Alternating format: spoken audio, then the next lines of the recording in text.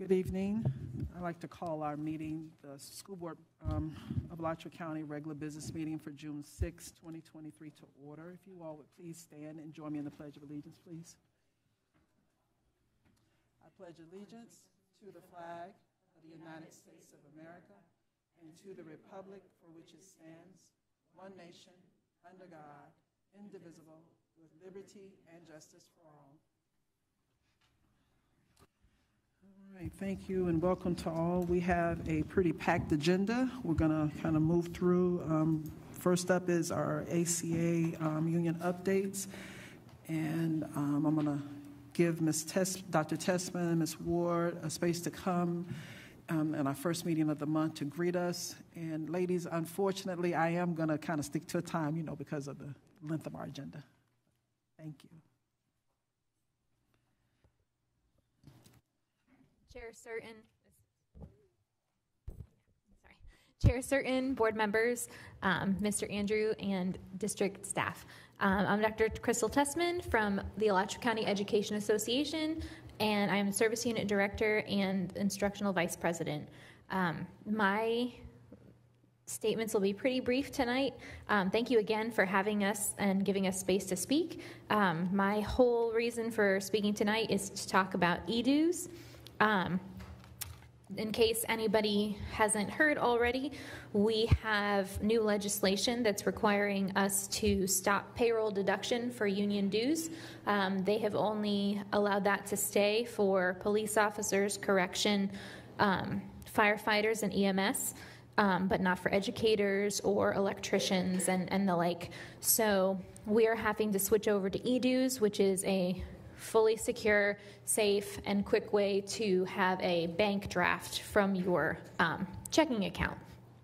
We have, along with that, we now have to maintain over 60% membership um, of the employee workforce that's eligible for the union to to maintain our union, which um, maintains our bargaining rights and our contract.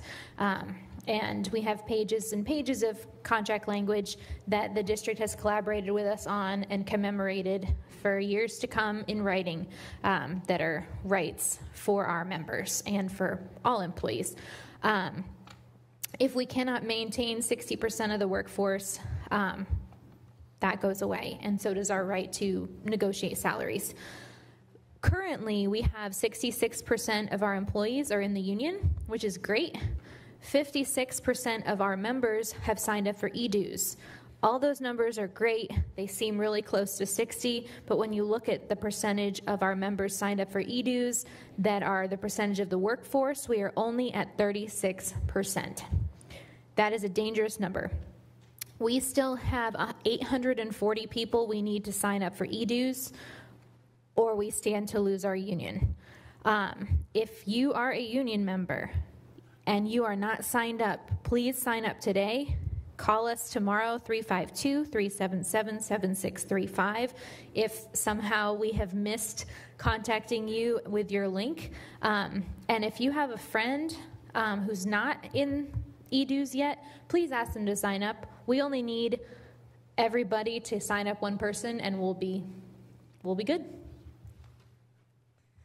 Thank you, Dr. Tessman, and um, thank you, board chair and board members, and thank you to the superintendent and district staff for um, hearing us. I do want to say not every worker can be in a union, but every worker benefits from unions that negotiate rights for workers. And so there are many members that have not participated in their union up until this point, and they thought the union would always be there for them. And that is not a stable fact at this point, and that is why we're, see- we're, we're seeking injunctive relief. We are in a lawsuit. Um, it's actually against the Public Employee Relations Commission to battle this and to put a stop to what the law says that we cannot collect dues. So that is going on as well. June 23rd is the hearing on that, but I want to get on to honoring our amazing members because we have a lot of retirees. And we are going to have a celebration for ACA retirees, and that is going to be June 28th at 6 o'clock. It's going to be at Kanapaha Botanical Gardens Spring House. And we are, we are going to be um, celebrating a long, long history of um, education there. So that's very exciting. So for the class of 2023, so that's the new retirees, and there are a lot of them. We also have um, Marjory Stoneman Douglas Scholarship that we give out every year to graduating seniors because I want to remind everyone that union members are mostly parents. So we have three seniors that have received our Marjory Stoneman Douglas Do Good Scholarship, the ACA um, awards each year. Claire Rochford from Gainesville High School, who is the daughter of Megan Rochford. Amelia Francis from Gainesville High School, who's the daughter of Michelle Francis.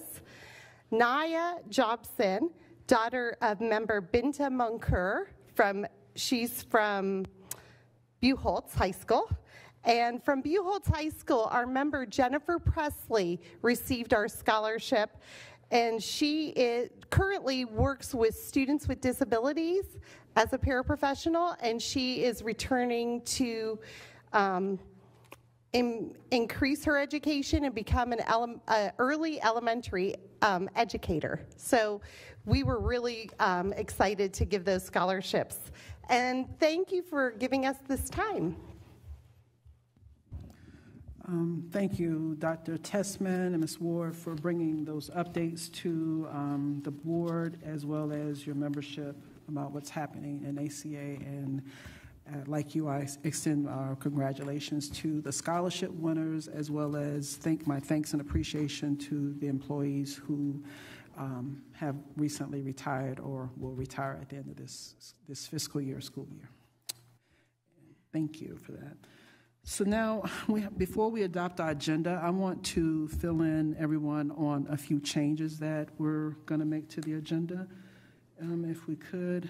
So um, Ms. Green gave us some updated materials, but the, there are a few things. On consent uh, agenda item three, there was one item that was listed on there to Harvard um, Jolly for $1,330,270. That's been removed. That was incorrectly listed there. So I'm not pulling the item. We're just letting you all know that that's been corrected, and Ms. Green gave out a revised copy of that. Um, And then in the public hearing section, the adoption of the instructional materials for, for social studies, it has been moved from action item up to um, public hearing item number three. And then under action items, employee case number two um, will- has been pulled, that employee resigned. And action item number six, which is the change order for Westwood, it's going to now become action item number one, and everything else will just be renumbered down. So I'm going to move that over the change order um, for Westwood that, act- it's currently action item number six in your printed agenda. That will now become action item number one. Um, And then um, the rezoning update, action item number eight is going to be pulled. So those are the changes uh, um, that I have. Does anyone else have anything on the consent agenda that they would like to pull or any other changes or modifications to the agenda? Okay, seeing none, can I get a motion to approve the modified agenda? So moved. Thank you. Motion by Dr. Rockwell, second by um, Dr. McNealy. Is there any discussion? Um, On the adoption of the agenda or on the items that we're going to come? The items in. Okay. agenda. All right, so let's, we, let's adopt the agenda, and then when we get to them, you can, we can come to those, okay? So if there's, um, is there any public input or anything? Okay. Seeing none, um, all in favor of adopting the agenda as modified? Aye. Any opposed? Okay, motion passes five zero. Okay. All right, so the first thing on our agenda is the uh, approval of the school board minutes, minutes from school board meeting from May 16th. So moved, Madam Chair. So thank you. Motion by Doc- Ms. McGraw, is there a second? Second by Doc- um, Dr. Rockwell. Is there any discussion from the board? Any public input? Anyone on the phones? Okay, thank you. All in favor of adopting the uh, minutes from May 16th? Aye. Any opposed? Okay, motion passes 5-0. Um, Next, we have board member and superintendent announcements. And when I recognize you, if you would, please turn your light off. Okay. Um, Mrs. McGraw, you're recognized. Okay, thank you, Madam Chair. Good evening to each of you, and thank you for attending. Uh, Just a couple of recognitions. Uh, Attended the VPK middle and high school graduations. They were all wonderful. I really enjoyed the speeches and seeing the talent displayed of our students and to our staff and our teachers and administrators. They did a great job with those um, graduations. Uh, I do want to say thank you to Miss uh, Neves, Miss Richardson, and Miss Diamond for all of their hard work with the VPK graduation. Something I, you know, truly monitored this past year, and I have to give a shout out to Miss Pauline Smith. She is the VPK teacher at Wiles, and she has 18 out of 20 of her students who are proficient. They are ready for kindergarten. And that's what we want to see and like to see them be tracked all the way up to third grade to see how they're doing starting at VPK. But hats off uh, to Miss Pauline Smith. Excellent, excellent. Just as well as our other teachers, but I know the parents. I got a chance to witness parents crying because they were hating VPK is VPK is over and they have to transition. The other thing is, I want to thank you to uh, Mr. Andrew and the principal of Turnaround. Thank you for implementing that. I want to give a shout out to Miss Roll and Miss Leinenbach. They did a great job. Principals are really thankful for that extra support this year, and they were able to see some movement toward our gap. We're not there, but they were able, with that principle of turnaround and extra, extra support being put in this year, uh, everybody's talking about that is helpful, helpful. We still have a long way to go, but I think it's important for you as the community to know we are making some progress, and I'm a very optimistic person, so I want to move forward with sharing what we are trying to do well. And again, Ms. Jones, we know that your soon to be retirement is on its way. I really enjoyed her retirement party to hear uh, the stories and to hear people who have worked with you over the years. So, again, congratulations on your retirement. Thank you, Madam Chair. Thank you. Um, Ms. McGraw, would you turn your light off? Um, Dr. McNealy, I don't see your light before I go to Mr. Andrew, but uh, do you have anything? I know you normally do, so you don't have to turn your light on. I just, before I went to Mr. Andrew, I wanted to recognize you. Thank you so much, Madam Chair. Um, I too want to thank and congratulate all of our students who finished a full year. Oh, wow. And I know you are still probably celebrating because of that. But um, to all of our students who were promoted as well, not just the graduates, but the students who were promoted, you worked hard. You did everything that you were capable, hopefully, of doing. And we expect you to get some rest. Some of you are attending our summer program, and we look forward to seeing the results of those actions as well. But if you're traveling abroad or um, right to Micanopy, we just hope that you have a very good time this summer, and we look forward to seeing you again on August the 10th, 2023. Thank you, Madam Chair.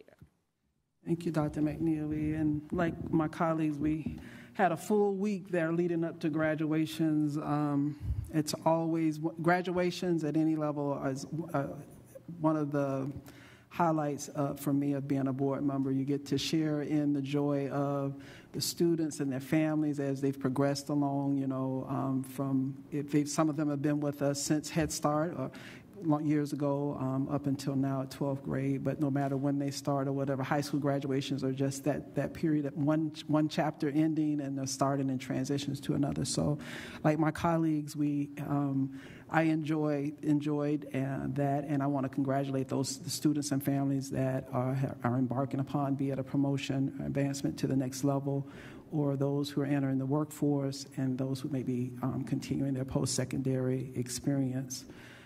And um, so that is what I have there. I had a question I wanted to ask Mr. Andrew for something that I wasn't aware that was even being considered, but I got a text that says that, oh, I didn't know y'all were moving the fire program to um, to Newberry High School. So please do, um, Mr. Andrew, fill that in with us because the Board of County Commissioners made that announcement, and I was caught a little flat-footed with that. So, and not knowing that that the the fire magnet or CT program is moving from Loften to Newberry High.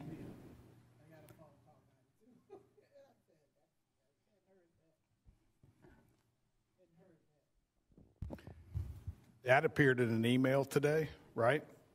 Oh, I don't know where it came. I got a phone. I got a text about it, so I don't know. I, I'm like, I didn't know that. So, I'd have to get clarification from Shannon Ritter on that because that's not anything that we, I don't see that magnet being moved right at this time to criminal justice. So, It's just a rumor. Mrs. Wise, did you have any information on that? No, sir, I had not heard that. Um, There's been some discussion about uh, exploring offering a course in 911 operator at Newberry High School, but I am not aware of the fire program being moved, but I'll see if I can get information before the end of the meeting. Right, I think there's some um, miscommunication on the wording of that because the fire program is at Loften, but it could be an extension of the operator program, 911 operators. So we'll get clarification for you. Madam Chair, may I move forward with my announcements? So we just want to congratulate uh, Weston Martin from Lincoln Middle School. As many of you know, he made it to the semifinals in the Scripps B Spelling Bee competition. He was uh, one of just 56 that made it to those semifinals. So um, hands down, he's made it farther than any ACPS student ever. And so we want to certainly congratulate them, let them know we're awful proud of them, and just way to go, Weston. And then also, I'd like to extend congratulations to Mrs. Vita Jackson Carter uh, as director of the ACPS Students to Successful Citizens System of Care program. She was recognized as one of four women who make a difference. Uh, she was one of the honorees, uh, and she was recently recognized for being an outstanding role model for girls and representing Girl Scout values. And of course, as has been mentioned, we just want to thank all of our Alachua County Public School employees and students who work so hard this school year. We completed the school year last Wednesday, as you know, May 31st. And as has been mentioned by our school board members, we attended many, many, many graduations and promotion ceremonies. They were all a joy to attend. Certainly, as um, Mrs. Certain mentioned, it's, it's the highlight of the school year, right? When we can see the culmination of our hard work. So, again, congratulations to the class of 2023 and best wishes to them. all right. Thank you, Mr. Andrew. Thank you for turning off your light there. All right. We are moving right along. We are now at our first citizen input. We have 15 minutes that we're allowed for citizen input at the beginning of our meeting for items that are not on the agenda. Um, I have one form here from for that's been submitted, but if you'd like to comment during this time, you can um, get up and queue up. So the form that I have is from Billy Taggart. And if you go to the lectern and give us your name, and you'll have three minutes from the, with the board. You may have to go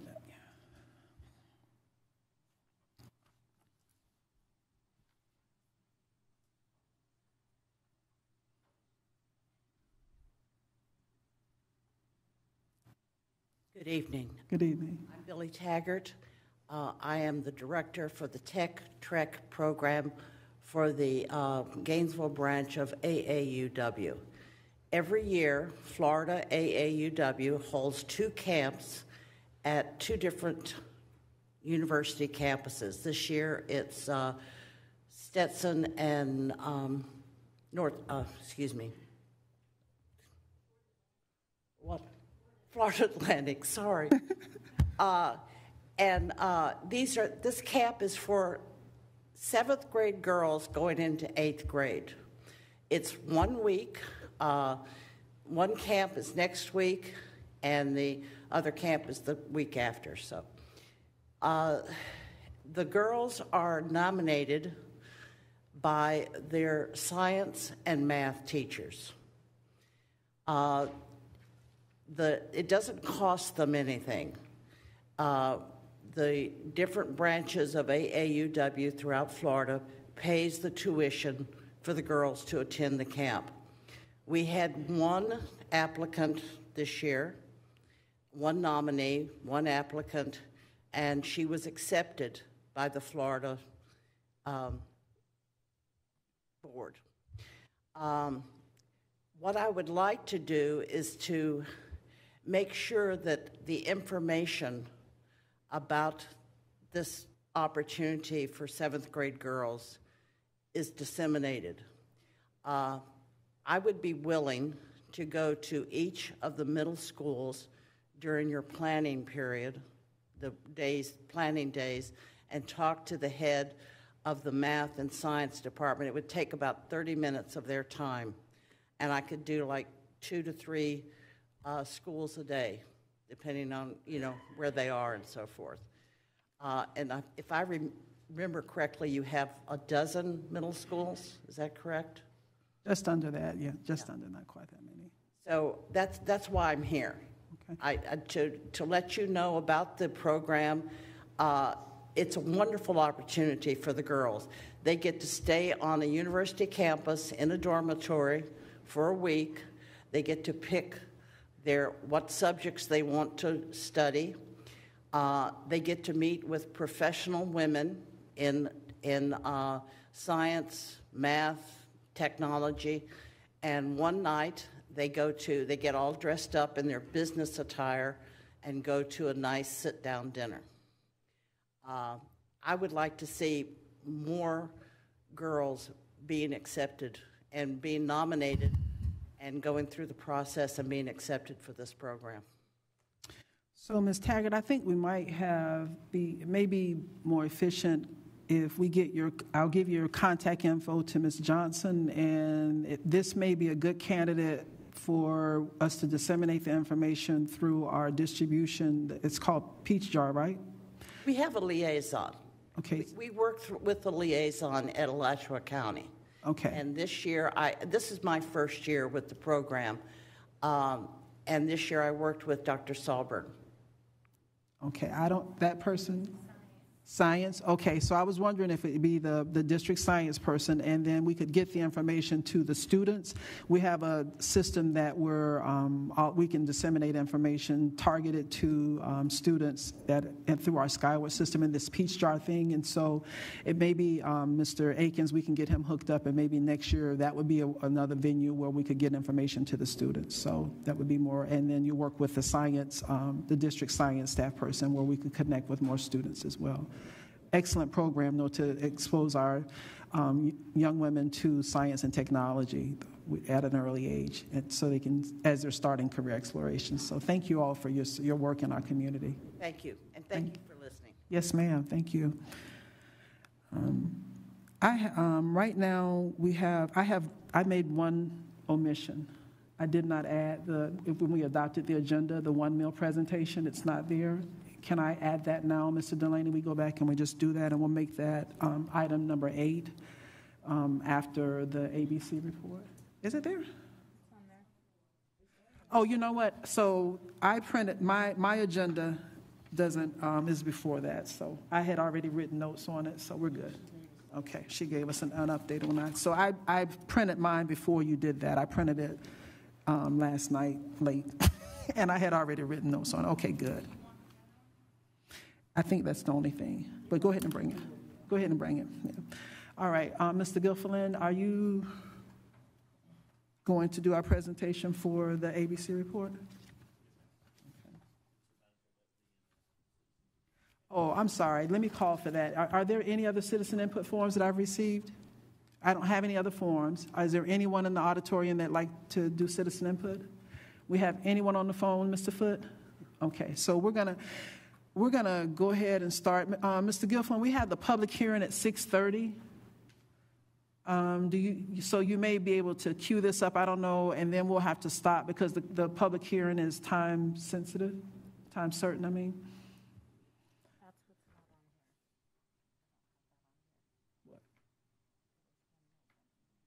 Oh, okay. They changed the order, all right. I'm confident I can give you a, a four minute version. I don't know if it's, it's the four minute version you want to hear, but I can do my best. But if, would you like me to? I mean, I can say probably the most important things up front, and then we can Okay, go ahead. come back to if we need to. So, um, good evening, everyone. My name is Taylor Gilfillan, Director of Data Analytics, Evaluation, and Accountability. Um, what we have for you tonight, basically, and it's it's online as well, is an update to our ABC scorecard. Um, lots of things I wanted to say, and some I was going to make a really great analogy about like GPS and stuff, but um, the most important stuff that I think we're all here for that we want to jump to really quickly is what's included for the updates for our core academics.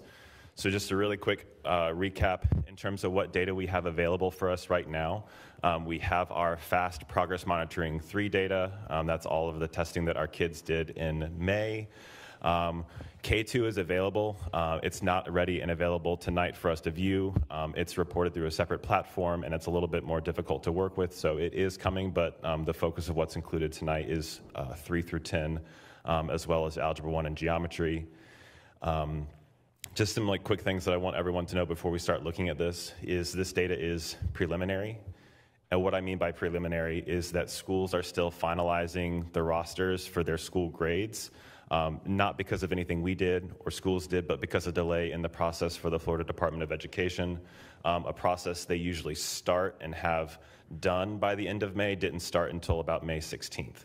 Um, so just as the data you have in front of us, know that there's going to be some slight changes to it just as we finalize those rosters in accordance with our uh, state's accountability rules. Um, EOC results right now also include retesters. That's a snapshot of just like how kids did in those courses.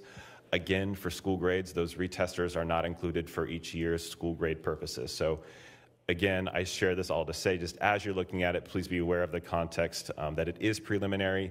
Um, we've never been positioned in like the history of state testing in Florida to like have these results. It's, it's June 6th. Like this is fantastic. And this data, most importantly, is in the hand of teachers and principals who are working with our students at ESY and our summer programs. But um, just know what's being reported. It's what we have available. Um, it's pretty close to accurate, but there will be some slight changes as we um, finalize this process with our schools and our principals. Just the last three things, and I think I can do it here leading up until 6:30. Um, you're going to see three things in there for core academics. We have some state versus district trends already. It's only at the subject and grade level. That's how it's reported to us. We can't drill down and see anything further than that. Um, we'll also see some growth trends by school. Um, we've got some pretty little lines that show just how schools grew in each subject for the year. Um, we'll be coming more with um, some more of the numbers. You can actually see the actual percentages there. Um, and then we also have results that are disaggregated by school and grade level, race and ethnicity, um, students who are English language learners, and our students with disabilities. Um, so that's also all included there in terms of results by different groups. And that is 6:30. Chair Certain, I'll turn it back over to you. Thank you, Mr. Gilfillan. We'll call you back, okay? How about that? If need be, okay? Hold on, um, since we have the public hearing here.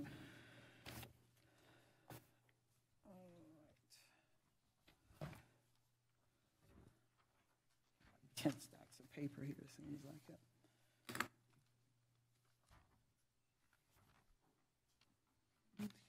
So we have our policy amendments um, in the 5500 block.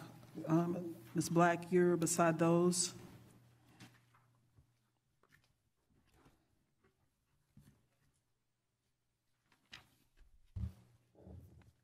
I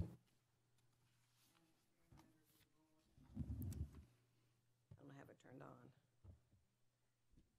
Mr. Andrew, on May 16th, we had the first reading of revisions to amendments to policy 5500 student conduct and amendments to the 2023 2024 Elementary Code of Student Conduct and 2023 2024 Secondary Code of Conduct. Tonight is the public hearing.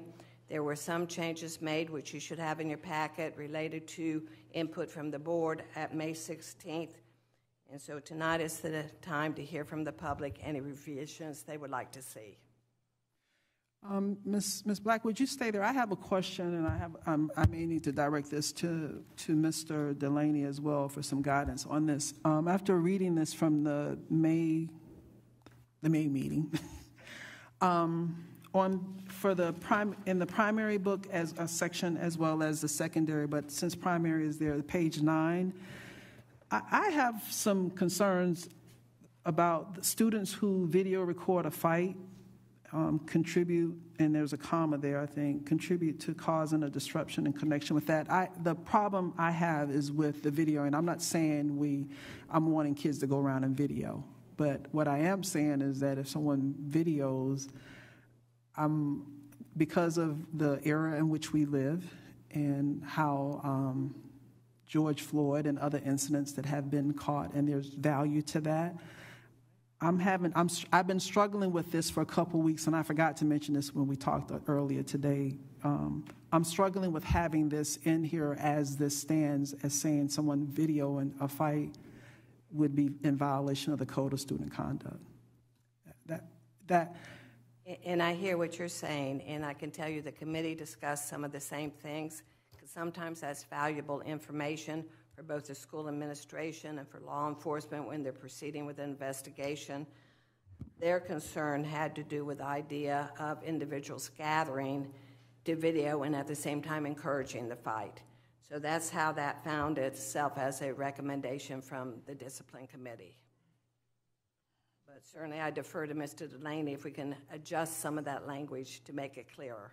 yeah, you have any suggestions, Mr. Delaney, because that, as it writes right now, students who video a fight, comma, contribute to causing a disruption in connection with the fight, you know, and then so on. To me, it's reading as if just video in a fight, you'd be in violation of Code of Student Conduct and could get punished for that. That's correct. And I think that aligns with what our policy is, that students are allowed to have their cell phone with them during the, du- during the school day. That's state statute. But they are not allowed to have it out without specific teacher authorization. Uh, And bringing out a cell phone to videotape a fight doesn't fall in that category. So that's a violation of the Student Code of Conduct right there. Um, I can't speak for specific instances in Alachua County, but the trend of the discussion is that across the state is that um, fights have been staged for the specific purpose of videotaping them. Um, uh, students can, who may be on the receiving end or losing end of a fight, can have sort of that humiliation perpetuated by having that um, be put on social media. Um, so I think our principals and our staff have put together this plan that aligns with what our policy currently is, which our phones are not to be out during the day without teacher permission for an instructional purpose. And then secondly, um, to limit the, the fallout and sort of the perpetuation of these fights. And I think that's why it was put together in that manner. Okay, um, I see, um, Ms. McGraw's light, and you- you, is, is that on this subject right here? Yeah. Okay, go ahead. Thank you, Madam Chair. In that same section, um, and I agree with everything uh, Mr. Delaney has said because that, that's been a huge problem.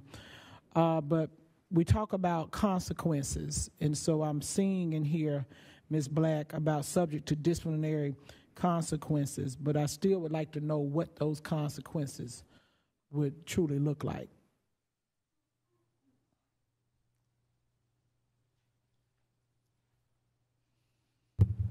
And I think there's not a exact answer to that.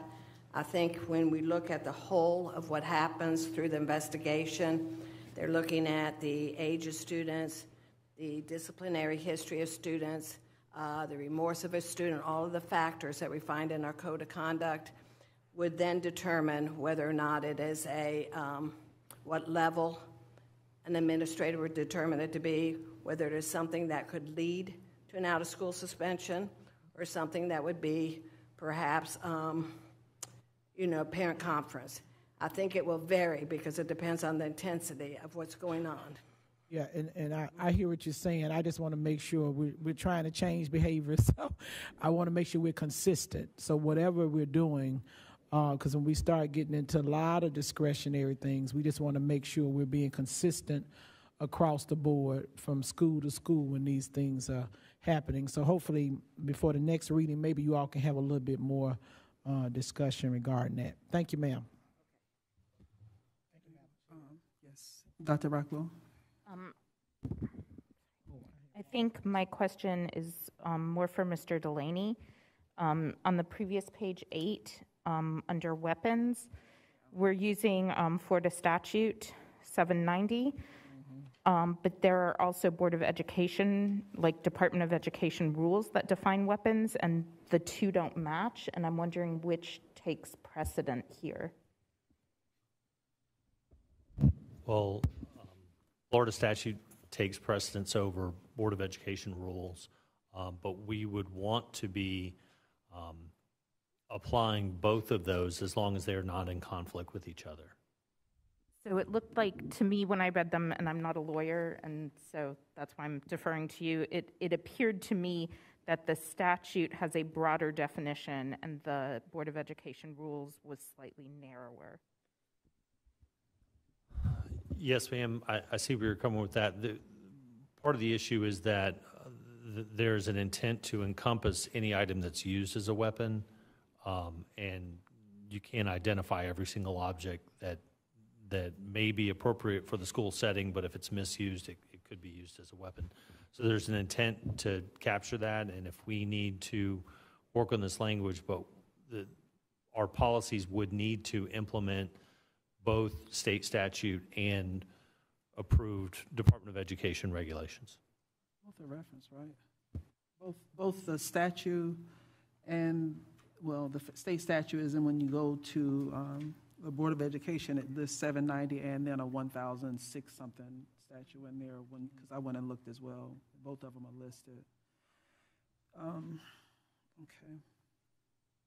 Madam Chair, I had one other question. I'm Yes, go ahead, Ms. McGraw. Um, the other thing is, under the consequences, Ms. Black, I think for possession or distribution or sales of vaping devices, I uh, wanted to know the rationale. I see the first offense and the second offense are the same. I was just trying to see what the committee, on page 11, on what, uh, what the committee um, discussed about that. The discussion uh, evolved around whether or not we had a student who had a, an addiction Right. to something. And so initially, in the first and second offense, the idea was to do some educational purposes and to do some support before you got to um, significant consequences. Okay, so counseling and possibly meeting with the parent is included. That's what I want to make sure. Right. Okay. Thank you. You know, I was going to um, bring forward the tobacco-free, um, some stuff that they're doing like in other districts. A lot of educational programs that may be good since we noticed this vaping and smoking seems to be so um, prevalent. Um, Dr. Rockwell, your light's still on. Ms. McGraw, yours is on still. Are- Do you have another question or something? Okay. Um, I had one other question. Um, on page 15, consequences of violation for, of bus rules. Um, I know we discussed why we wanted the bus drivers to have the authority of a classroom teacher and be able to write referrals. I just wanted to make sure with Mr. Delaney that this was um, okay based on the bus drivers' contracts and state statute and Board of Education rules. I'm not aware of any reason why this would not be uh, in compliance with those.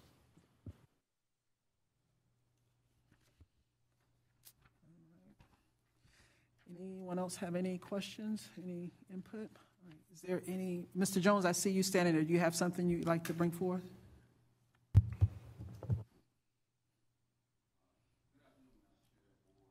Actually, turn your mic on, please, sir. Yeah, there, it's on now. Good after, uh, afternoon, uh, Madam Chair, Board, and Superintendent Andrew. Uh, as you know, discipline is an issue, especially on school buses when you have a school bus driver. Uh, they don't have a resource officer, they don't have an assistant principal there, they don't have a dean, a BRT. Uh, they're out there by themselves. So we just wanted to give some teeth uh, to the discipline of students on the bus. There are some wild things going on on the bus. Uh, we want to stop those things. They're unsafe. Uh, students should be able to ride to school in a safe environment. Uh, you should not be videotaped. Uh, for example, I witnessed a video of a student, uh, an aggressive student jumped on another student, and the other students were videotaping, it. and you have that video for the rest of your life. And that student was assaulted on the bus. And we want to stop those things. Students who are being aggressive, who are being violent on the bus, who are vaping on the bus, we need to take those students off the bus. Uh, they may get back on the bus, uh, but they need to go, come off the bus. We have to give some teeth to discipline on the school bus as well as in the classroom, of course. Uh, but we just want to make sure students are able to ride to school in a safe environment. Um, I agree with you, Mr. Jones. I did notice the suspension is taking place after the third refer- referral. Um, and it looks like the fourth seven-day exten- um, suspension, so it looks like you all are like tightening up instead of it being so Yes. and taking so long to do that. Um, it'll just have to be like a consistency from bus to bus with the infractions, right, from the drivers. So, um, but Uh, actually, from the school, uh, we can have all the rules in place. If we don't back it up and do something about it, it doesn't mean anything. We have to put some teeth behind it. Uh, again, we want all kids to ride the bus. We're not trying to put any kids off the bus. But again, we have to have it where it's an orderly environment, just a, like a classroom. Just like a bus a classroom teacher, a bus driver is it has that. That's their classroom, and we want to make it a safe environment. I've seen students cursing out bus drivers, uh, saying all type of stuff to each other, and we can't have just a wild environment on the bus. And that's one of the reasons that some of our bus drivers don't want to be bus drivers uh, and bus attendants is because of the kids' behavior on the bus. And once we Honestly, I'm gonna be honest. Once we put one or two off, everybody will get the message that we're not playing and uh, that we got some rules on the bus. And again, we're not trying to target anybody. We're not. We want everyone to ride the bus to school and home in a safe and- and orderly fashion. But students who are being aggressive, who are vaping, who are being uh, out of control on the bus, right then they may be able to ride the bus in the future, but right now they may not be able to ride the bus. I, I, we, I think the board, this board supports the actions that you're taking, you, um, to support the drivers and the aides to create a safe work and riding environment for the drivers as well as the students, so. uh, Whatever we, you know, we're, we're supporting the, the actions and the, the changes in this code of student conduct to create that environment for you all. So you, you mentioned that it's with you all in the school, so I'm hoping that that conversation is had be- between yourself and the building administrators or whatever it needs to do so that you all will have the support you need to create that safe environment. Thank you. Um, To my colleagues, y'all have anything else on this right here before we move forward with that? Okay.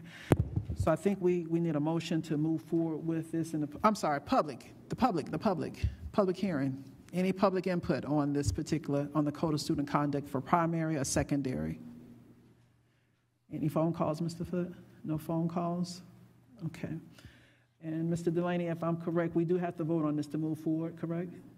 Or we're just receiving public input and just going forward? We- We're, we're just receiving public All input. right, all righty. Thank you, Ms. Black, and thank you to my colleagues for that. Um, Mr. Shelnutt's at the lectern for the next group. Uh, Good evening, Chair Certain, members of the board, Superintendent Andrew.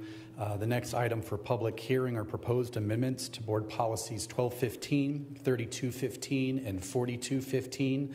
These are uh, um, um, changes as a result of Neola's work with the Department of Health, really better rewriting our tobacco-free policies and providing some additional clarifications. And just as uh, Ms. Black said, and and you did as well, Madam Chair, this is an opportunity for any members of the board, any members of the public uh, to put forth any uh, perspectives that they may have on these proposed revisions. I didn't have any. I looked at a couple other districts, and this is bringing us up to what they have, since we're all, all the other Neola districts here. Um, Do my colleagues have any feedback or any input on these policies? Mr. Foot, you have any phone calls for? Anyone in the public wish to comment on um, these policy changes to our tobacco-free um, policies? If you do, you can go now. Okay. My colleagues down on this end to my right, I don't think I looked down there. All right. All right, thank you, Mr. Shelnut. All right. The next section is Ms. Wise and Ms. and Dr. Edwards. Thank you, Madam Chair, board members, Superintendent Andrew. Uh, We are bringing back before you this evening for public comment, one policy in the 2000s, six policies in the 5000s, and three in the 3000s for any further comment or input. Give me just a minute. Let me see if I have any post-its in that section. I did want to ask, like, we're adopting this now, but this will change again, right, as, as a result of this last session here. That was the one note that I had in there, so we're. Yes, yes, ma'am. Uh, And I think we knew that, uh, the Neola updates were coming, but we were in, I think we said that the first time when Dr. Edwards and I presented, and we were still in legislative session. So we will probably be bringing some of these back again. Okay. to, um, Dr. Rockwell, go ahead, you're recognized. Um, So I noticed in policy um, 5350 that um, in other policies, we have definitions of parents to include guardians. This policy doesn't specifically define it, um, but says parents, and I wasn't sure if we needed to have that defined in this policy, or if it's, this is more of a Mr. Delaney question, or if it's sufficient that it's that parents is defined in other policies.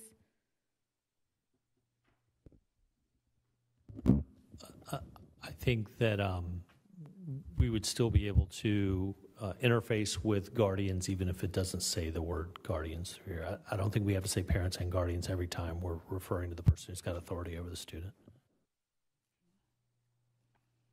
All right, thank you. Any, any other input from this, from you, Dr. McNealy, Ms. Abbitt? Okay. Any public input on this particular set of policies here? Um, Any phone calls? All right, we'll move to the next section, which are the finance sections. Mr. Burkett? Thank you, Madam Chair. There are two policies in the 6,000 area that are up for public hearing tonight. Um, First one is 6210. Mr. Mr. Burkett, I'm sorry, would you move your mic closer to you? Yes, Um, ma'am, I'm you- sorry. You can pick it up, just so you don't have to lean over, just pick it up and put it a little bit closer to you so we can hear you. There there are two policies in the 6,000 area that uh, are up for public hearing tonight. The first one is 6210, which provides some clarification language uh, regarding fund balances, maintaining fund balance, how they're classified, which complies with GASB 64. Um, It sets some uh, ceiling limits on uh, revenue estimates uh, by the superintendent. Otherwise, it's fairly just some minor changes in that policy. Uh, 6325 is procurement of federal grants. It was, came as a suggestion from the Florida Department of Agriculture uh, regarding non-domestic purchase of agricultural products, and uh, also establishing that all bids are open and public, but pretty minor language. Okay. Thank you. Um, So for me, I'll, I'll, I'll let my colleagues go. You all have anything on this, on them? Okay, Dr. Rockwell, go ahead. I, It wasn't this policy, I missed, um, sorry. It wasn't this one, I missed one in the previous group. Is it okay if I go back and ask a question? um, let us finish this one since he just set this one up, and then we'll go back to that one, okay? All right. So for policy 6210, I do not feel comfortable with taking out the, the percentage there that ceiling, the 4% of annual resources. I think the 3% should stay in as well. And it- at a minimum, the 3%, if we don't have the 4% ceiling that- that's there, um, especially in this time of where we are in our funding, I think it needs to be very, very clear that the fund balance is 3% by law, Um, And that needs to, I, think it should stay in our fiscal plan, in, in this policy. It's in another place, but I think, I, I, I feel pretty strongly that we should keep that there, not take it out. And I looked at two other counties to- for my colleagues. I always go and look at Leon because I feel, to me, they're like our little sister county in a sense, a lot like us. Um, And Leon has the 3 and 4%. They have the policy as we've had And then I looked at um, Charlotte County, they have the same, the 3 and the 4%. Um, Citrus has just one percentage in at 3.5%. So um, for me, we, in, in our policy that this is updating had 3% as a ceiling and then a 4% of, unre- so at a minimum, I think we should leave um, the 3% in if we take the 4 out, so. I'm not sure, um, how, what's your reading on that? Who, who said that?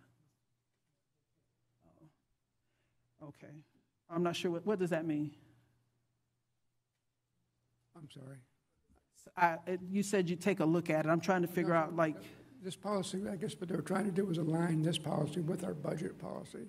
I know when the policy gets down to five percent, we have to, uh, fund balance gets down to five percent, we have to write a plan, three percent as a state law. And uh, I don't think there's a problem leaving the four percent or three percent in this policy. Yeah, like I said, I think if we take the 4% out, that would make, um, it make it clearer, because I have asked, like, why do we have three, four, and five, right? So 5% fund balance is board policy, 3% is the law. And I think just having the, leaving the three in there, just, if someone doesn't know that that's the law. Like, when I first came on the board, I didn't know that was the law. I had to read the policy, read the statute to figure out that that was the law. Um, so I think for clarity and just so for some, the new person, a new board member, whoever comes to know that, or the public to read, so we, they don't have to go to the statute. So I think at a minimum, I think we should have the three percent if we are, are going to take away the four um, for the unreserved um, annual revenues in there. Take that out because that was a little conflicting. But I, I, I think leaving the three in is, is really key for me. So. I'm not sure how my, my colleagues feel about it, but I, I think the three should be there. So, okay. Any comment from this end? Okay. All right. Is there any public input? Yes, ma'am. Uh, Ms. Ward, you can go to the mic, please. I just have to rise in support of maintaining the accurate information um, of 3% is the required fund balance. Um, I disagree strongly with the board policy of 5% budget because I think the responsible way to go in a school district is to spend as much of the money on the students and the employees as you possibly can. And that is defined in the Florida law as 3%. Thanks. We'll talk, Ms. Ward. um, is there any other public input? Okay. All right. So, I'm sorry, Dr. Rockwell, go ahead. So I'm sorry, this goes back um, to the parent responsibility 8620. Um, And I had mentioned this at a previous, I believe it was a workshop, um, where it says if the parent fails to meet the student at the designated bus stop, it has an exemption given for an older sibling taking responsibility, but not a designee of the parent, such as a babysitter or someone else. And that concerns me that that is not in the policy. Uh, Yes, ma'am, I'd have to defer and ask Mr. Jones if the parent is able to make another adult designee be the one who can pick up a child at the bus stop. Uh, yes, they are. Uh, right now, our policy says uh, kindergartners have to have someone at the bus stop to pick them up. Uh, but if the administrator at the school uh, deems it appropriate and gives them a letter that they can give to the bus driver, uh, it's fine. You can do it for up, for up to five days. Another adult, you mean, other than the parent? Correct. Thank Well, we've had grandparents and different other uh, people picking up the kids, but they need that letter. So, but only for five days? So if a child has a babysitter who picks, who meets them at the bus every day all year, every week, they have to? I believe the policy, our handbook says five days, but we've, we went past the five days. Yeah, I mean, I think if we have policies and handbooks, we need to follow them. And if they don't work in reality, then we need to revise them so that they work. Correct. We can do that. I think um, we need to look into that process further. We have to be really certain that when we have other persons at our stops picking up our children, that we've had opportunities to clear that those are individuals who in fact should be taking the kids. Um, And so when those letters are coming, how they're coming, how schools are able to actually verify that the parents um, have provided that would be important. So I think we would have to go back and to look at that process and make sure that it's clarified, but aligns also with our other policies and the procedures that we're following at schools um, when we are making determinations as to who can pick children up. Attorney Delaney, go ahead. If I may, Ms. Chair. Yes.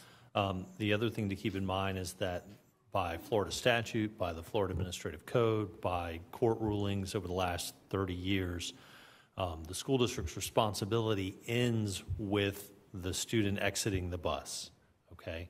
So we have developed a policy to be above that bare minimum level that we're required by statute, um, but there is a direct handoff of responsibility when the student leaves our care, our supervision on the bus, and, and the parents are required to take over and be responsible once the student leaves our bus. Now, we have some other policies for our youngest students to kind of build some safety measures in on that. Um, but legally, we all need to be aware that the, the parents have to be ready to exercise their responsibility for those students when they leave the bus in our supervision.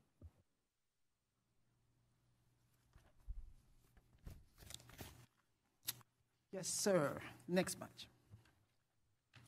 Good evening, Madam Chair. Um, This public hearing is for two policies in the 7,07434, which um, addresses tobacco-free environment, and 7440.01, um, which addresses video surveillance and electronic monitoring. Any public input, oh, I'm sorry, any of, um, anyone have any, uh, uh, my colleagues have any input on these policies? Okay. Any phone calls, Mr. Foote? Okay, anyone in the audience have any input on these policies here? Okay, thank you, sir. All right. Ms. Wise? Thank you, Madam Chair. We have, uh, for public hearing this evening, um, the list of social studies textbooks, instructional materials uh, that we are bringing to the public and to the board for comment. Uh, This is the slate of state-approved um, textbook adoption committee selected texts for our core social studies courses in K uh, through 12th grade. And um, we will be bringing these back to you. This is our first opportunity to hear public input on the final slate of books selected for adoption. Dr. Rockwell, you recognize. Um, I was wondering whether we are adopting new social studies textbooks for the AP courses as well.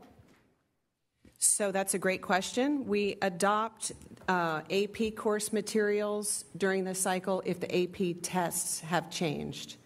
So if the, uh, outside of just regular replacement materials, but a new text wouldn't be adopted for AP courses unless uh, the course materials and the AP exam had changed.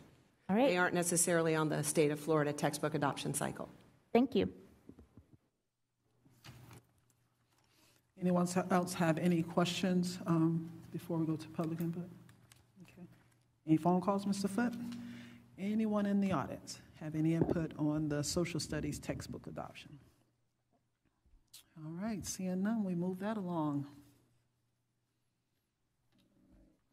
I think that was the last.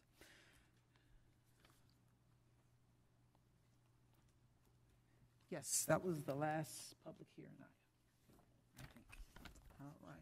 So we're going to go back to um, our agenda. Mr. Gilfillan, I'm going to, the one mill was before ABC. I'm going to get her, get Ms. Gallagher and let her come forth with her report, and then we'll circle back to you, okay? Thank you, sir, for your flexibility.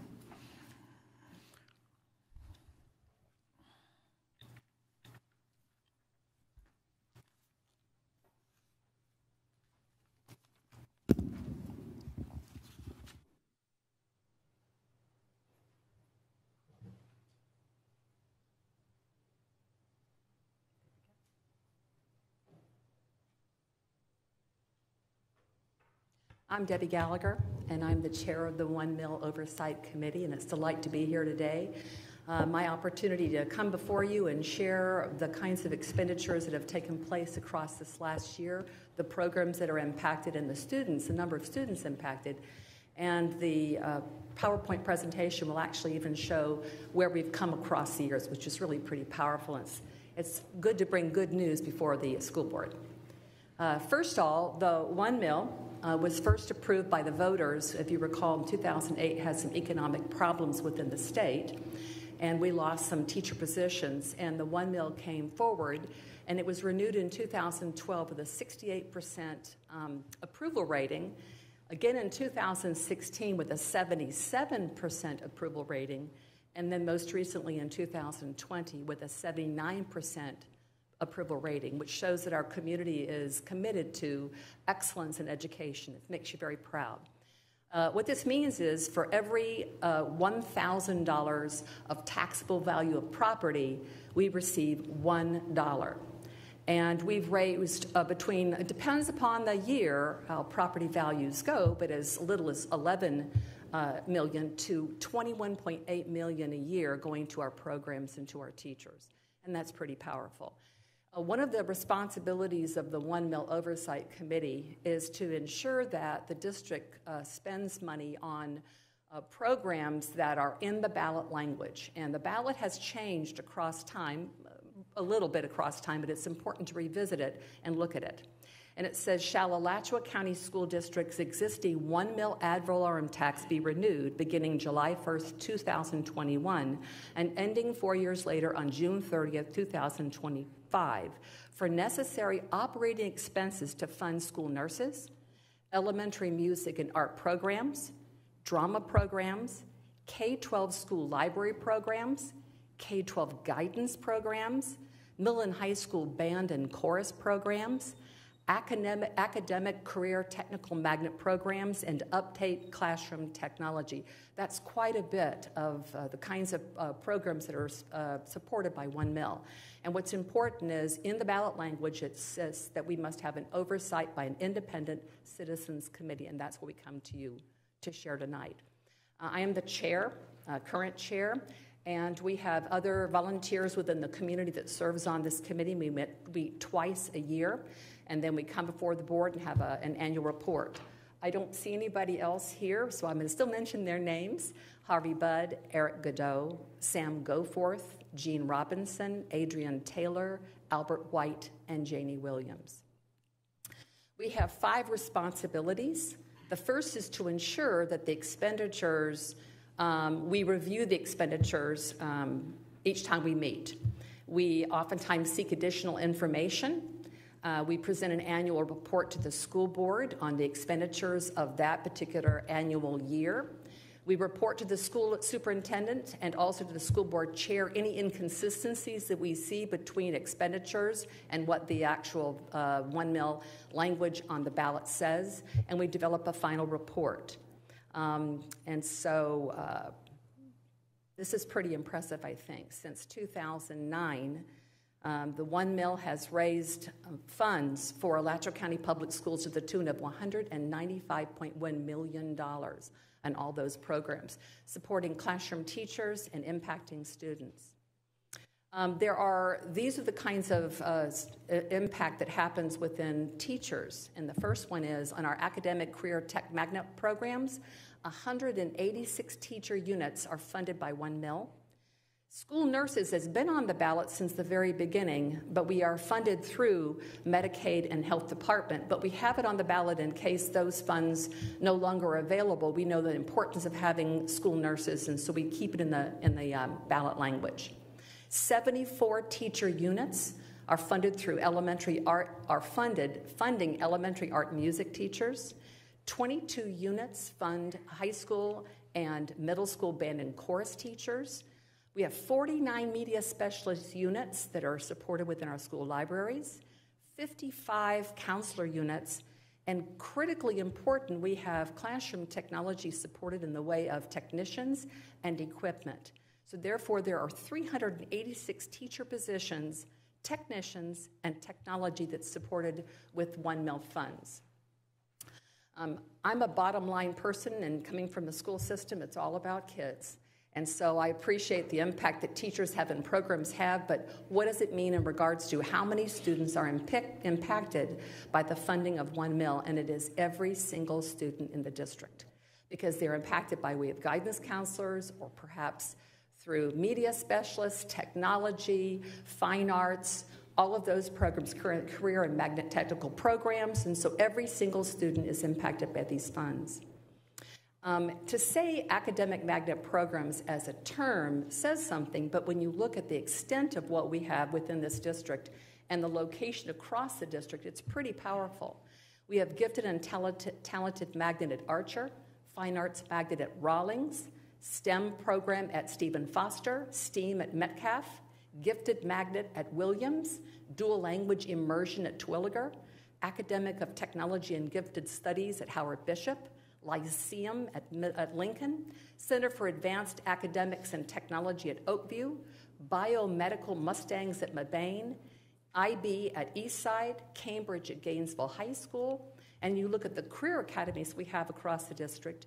At Buchholz, the Academy of Entrepreneurship, the Academy of Finance, Eastside High School, the Institute of Culinary Arts, Gainesville High School, Academy of Health Professions, Academy of Future Teachers, Hawthorne, we have the Academy of Agribusiness, uh, Loften, Academy of Automotive Technology, Academy of Gaming and Mobile Apps, Academy of Graphic Art and Design, Academy of Fine, Fire and Emergency Medical Services, Academy of Robotics and Engineering, Newberry High School, the Academy of Criminal Justice, and Santa Fe, Academy of Agri-Science and the Institute of Biotechnology.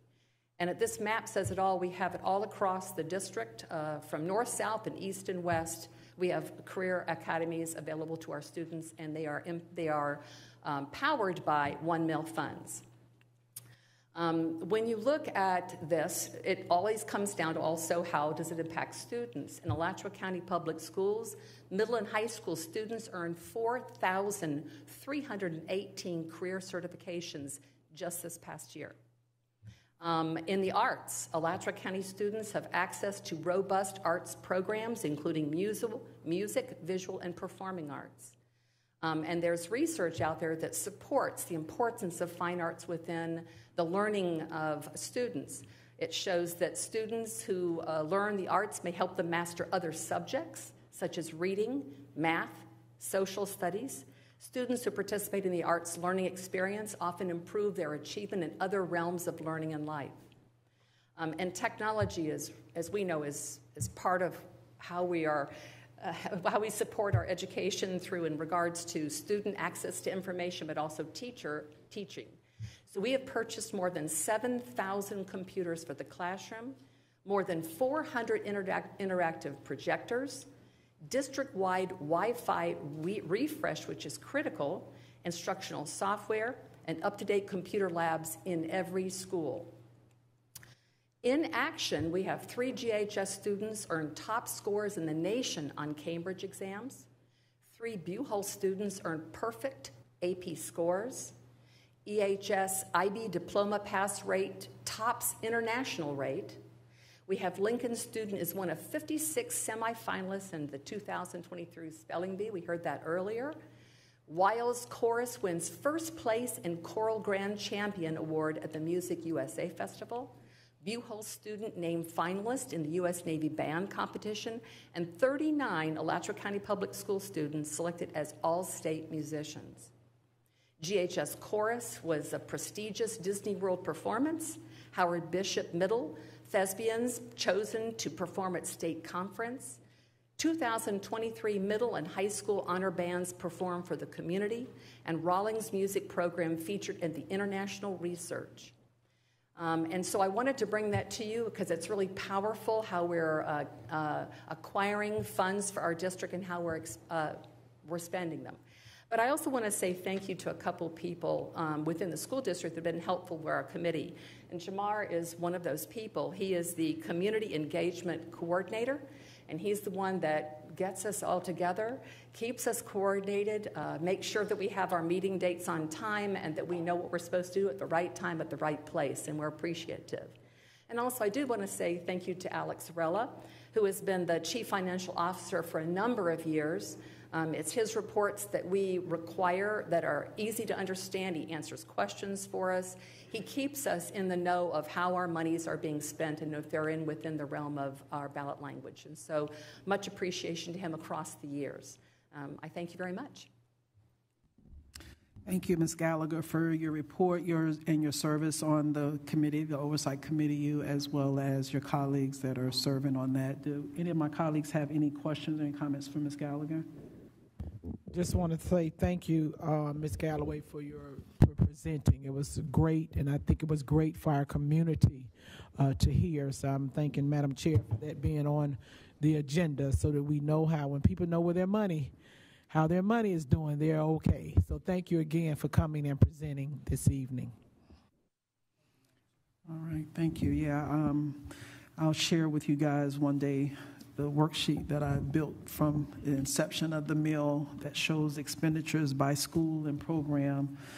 It's pretty interesting, kind of eye opening, really eye opening. So the mill does a whole lot, and so it'll be out um, up on the ballot in 2024 um, next year in November. It comes up for renewal, and so that'll take the work of the committee and um, the board and everybody getting out there to get going to let the, inform the public of the good work, uh, the benefit that the, their tax dollars are um, having on our school district. Yes, Dr. McNealy, I see you.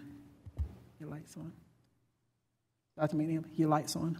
Thank you so much, Madam Chair. Um, to Mrs. Gallagher and members of her committee, we are esteemed, proud um, to be a part of what you do, what you care about, and it's all for our students.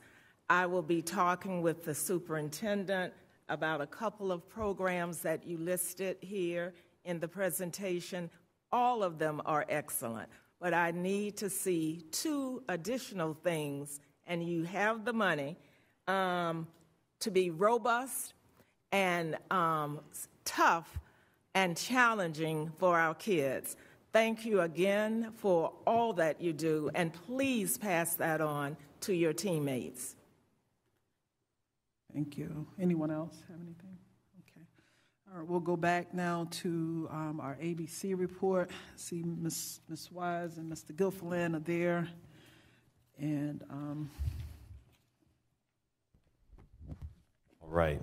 Thank you, Madam Chair. We're going to pick up from our three and a half minute version um, from where we left off.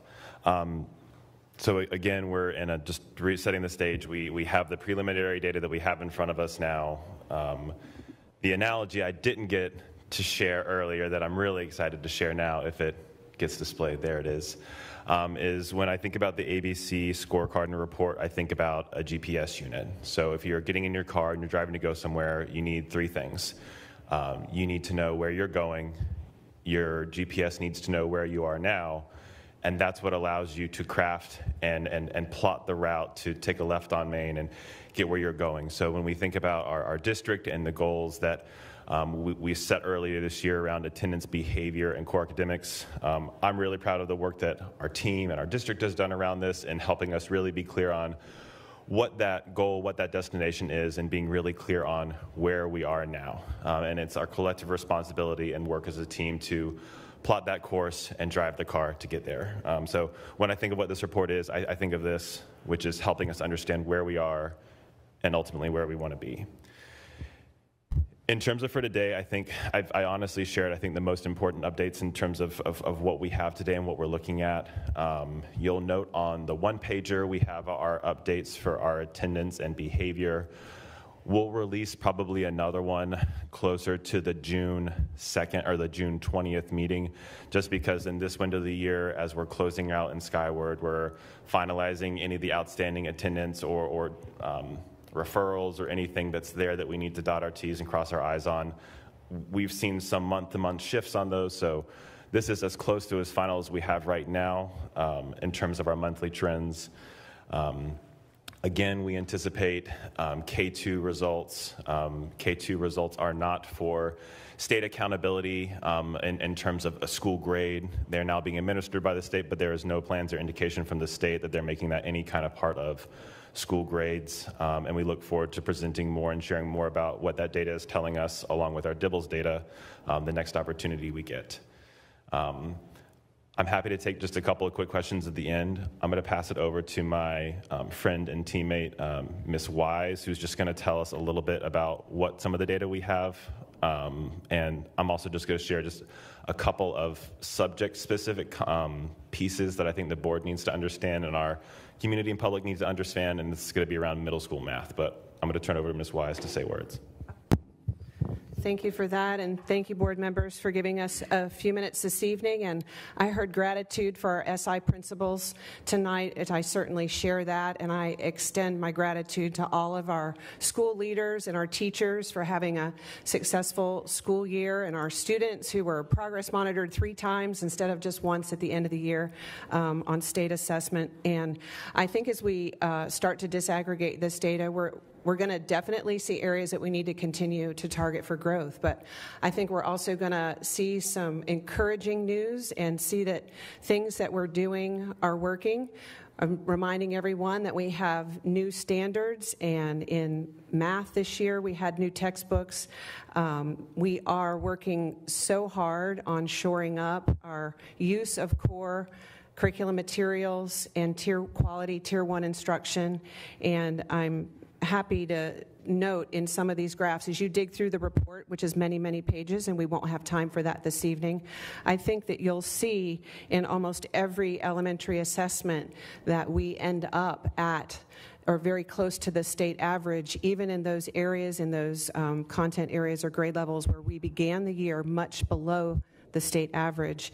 And likewise, um, I'm very proud of the work that we've done with secondary ELA in all of our uh, 6 through 10 state tested ELA areas. We performed above the state average, and this was the first year of the use of our uh, secondary literacy implementation specialists, and they were able for most of the year to be able to do that um, hands on job embedded work with our teachers. And our curriculum specialists have done such a great job, and, and all of our literacy implementation specialists, those elementary literacy implementation specialists, were oftentimes um, teaching ELA blocks. And so I'm proud of the work that the team is doing, and we know certainly that there's much more of that ahead. You do see in the report the, uh, the comparison, just big picture, grade level by content area, how we compare to the state, but then you're also able to dig in a little deeper and see by school and by subject.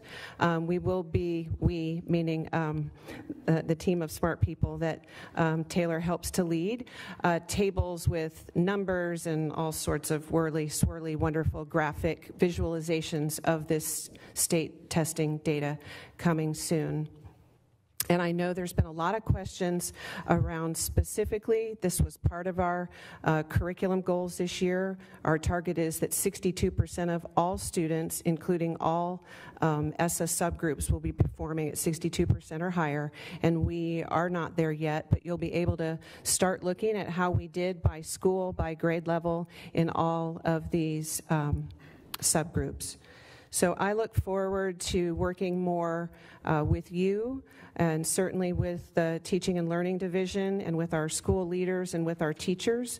But we appreciate this opportunity on a busy board meeting night to put some of this in front of you. Thank you. And I'll just close out with two things, Ms. Certain, and then, and then pass it back over to, to you. Um, In our ABC report, I invite you to go to page 33, and I'm going to pull it up here on the slide.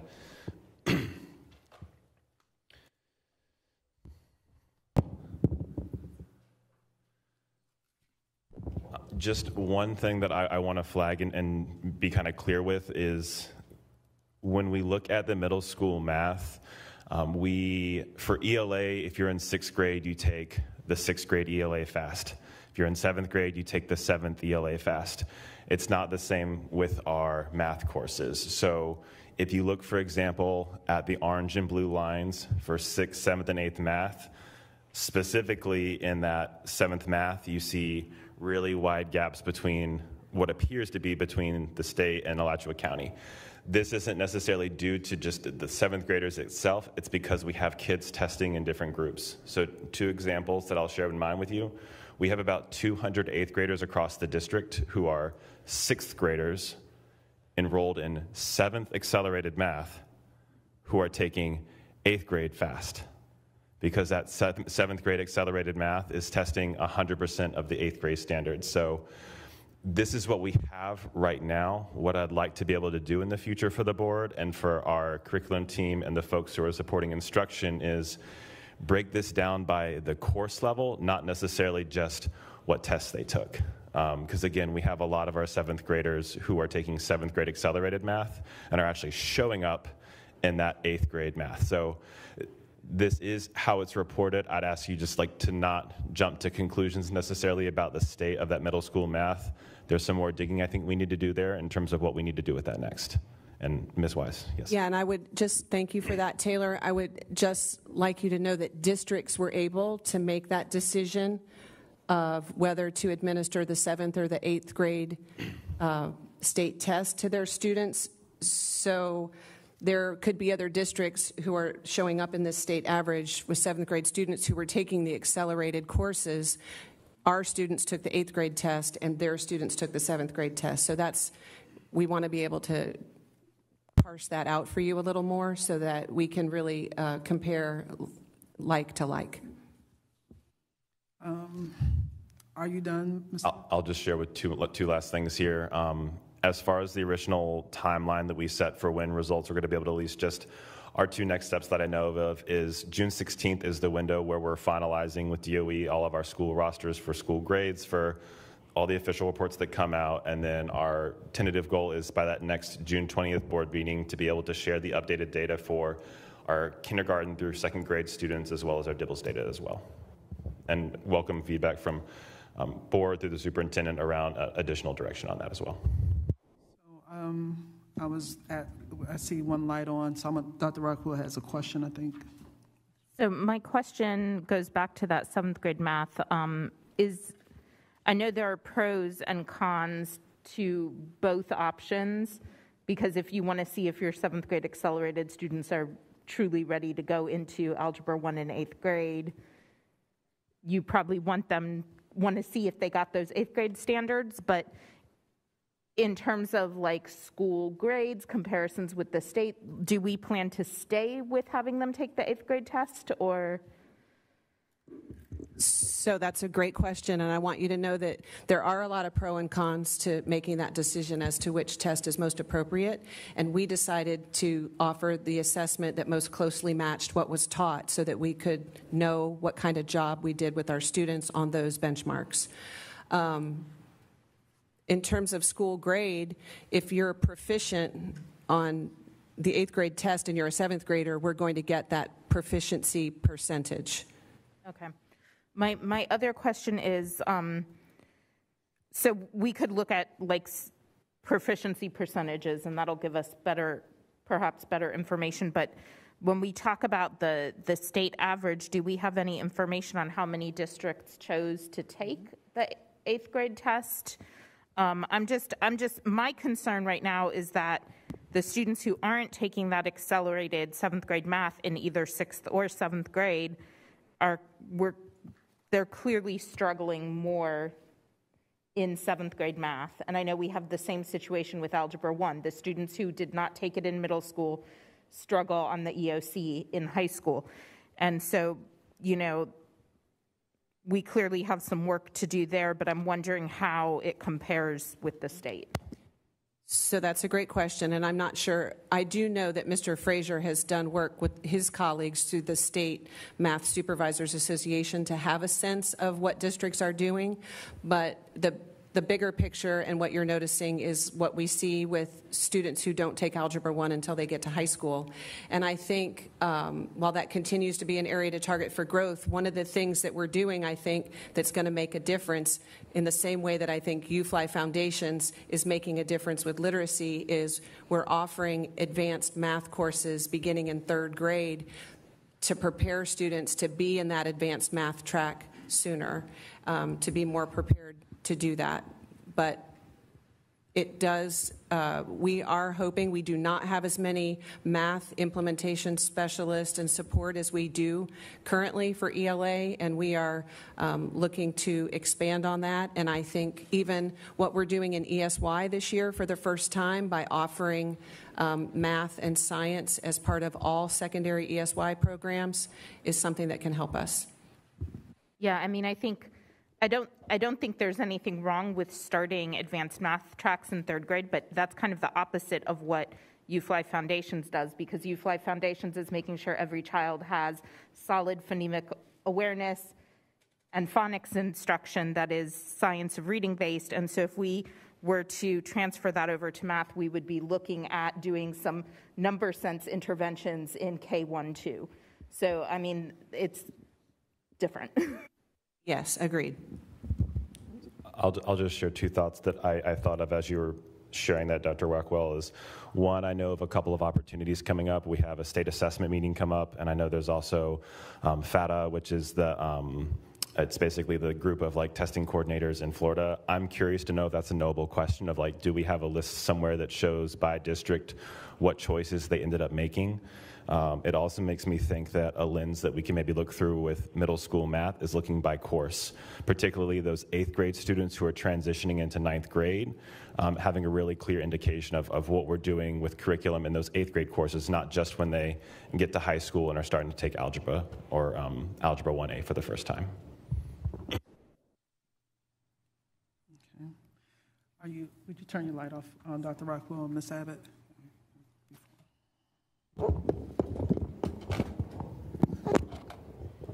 Um, my question, um, we just got this data today, so I haven't gone all the way through it, but I do have a couple of questions about uh, what we're going to do differently with our subgroup of Black and African American students because um, even at schools that perform well, uh, that subgroup does not. And so it's all across the district. Um, particularly concerned with SI schools about what we're going to do differently next year because while there were some gains at one particular school where I have more uh, in depth data, um, we can't continue to make those gains every year by the time the kids get out of, uh, they won't even be on grade level by the time they get uh, through fifth grade. Um, at this school in particular, SI school in particular, in third grade, 14 of the 72 kids were proficient. And so I guess my question is how many were, were those kids retained that weren't proficient or were they moved on? Because if they were moved on to fourth grade, they're going to get fourth grade curriculum with some intervention, I'm assuming, but they're not ready for fourth grade skills. That's a huge number of, of children that were just moving from grade to grade to grade. At that same school and, and on the STAR testing end of year, 62% of the kindergartners were not on grade level. 76% of the second graders and 71% of the first graders. So, you know, we can look at all of these things and sing, sing praises for a lot of these schools that are doing a really, really good job. But I'm going back again to these SI schools who are still have kids who are not getting the instruction they need. A lot of these kids do not have teachers in their classroom, which I have been saying since November, certified teachers. And so I want to know what we're going to do different starting next year so that when we look at these numbers again, we aren't going to see that 14 of 72 kids are proficient in reading and are moving on to the next grade level. And so there has to be something different. SI principals are in there. Uh, we've got UFLI that's in its third year, I believe. And so I think that that is helpful, but we can't keep doing the same thing. Something has to be done differently for these kids to make the gains they need to be successful with their learning. Thank you. Um, I, I have the same question. I'm gonna I'm gonna turn to Mr. Andrew to see if he and his team have uh, in their planning for going forward for next year. Um, I, I've talked with Mr. Shellnut about the the job fair. I'm not sure if they're fully hired at all the schools. I think they've had really good success. I heard Ms. Jones say of the success that they've had with the job fairs. Um, so I guess before, um, Dr. McNeil, Ms. Ms. Abb, would you turn your light off, please? And I saw Dr., um, Mr. Andrew, before you go, I'm going to let Dr. McNealy go, because there may be something that you may Thank you, in there as well. Thank you, Madam Chair. Since you and colleague Abbitt are talking about what's going to be done differently, especially if you're waiting for um, the supervisor, director of um, personnel to come up forward, but I have a concern with the many, many teachers that were non-renewed. Um, I called around to find out from personnel some of the teachers that will be picked back up, or have they been supported? Did, were they supported during the year? I could not get answers. And I'm disappointed because eh, with the shortage nationally, nationwide, just think where we are here in Alachua County. So if we have long-term subs and there is a management problem with a regular teacher who cannot handle classroom management, my question is, where is the support? I'd like to see the support given by the administrators at that school. I could not get that kind of information. In fact, I probably shouldn't have re- even received what was the problem why some people were non renewed. But as a teacher, a first year teacher especially, they are going to need that extra support. And in some cases, I think we are lacking. That's all I have to say.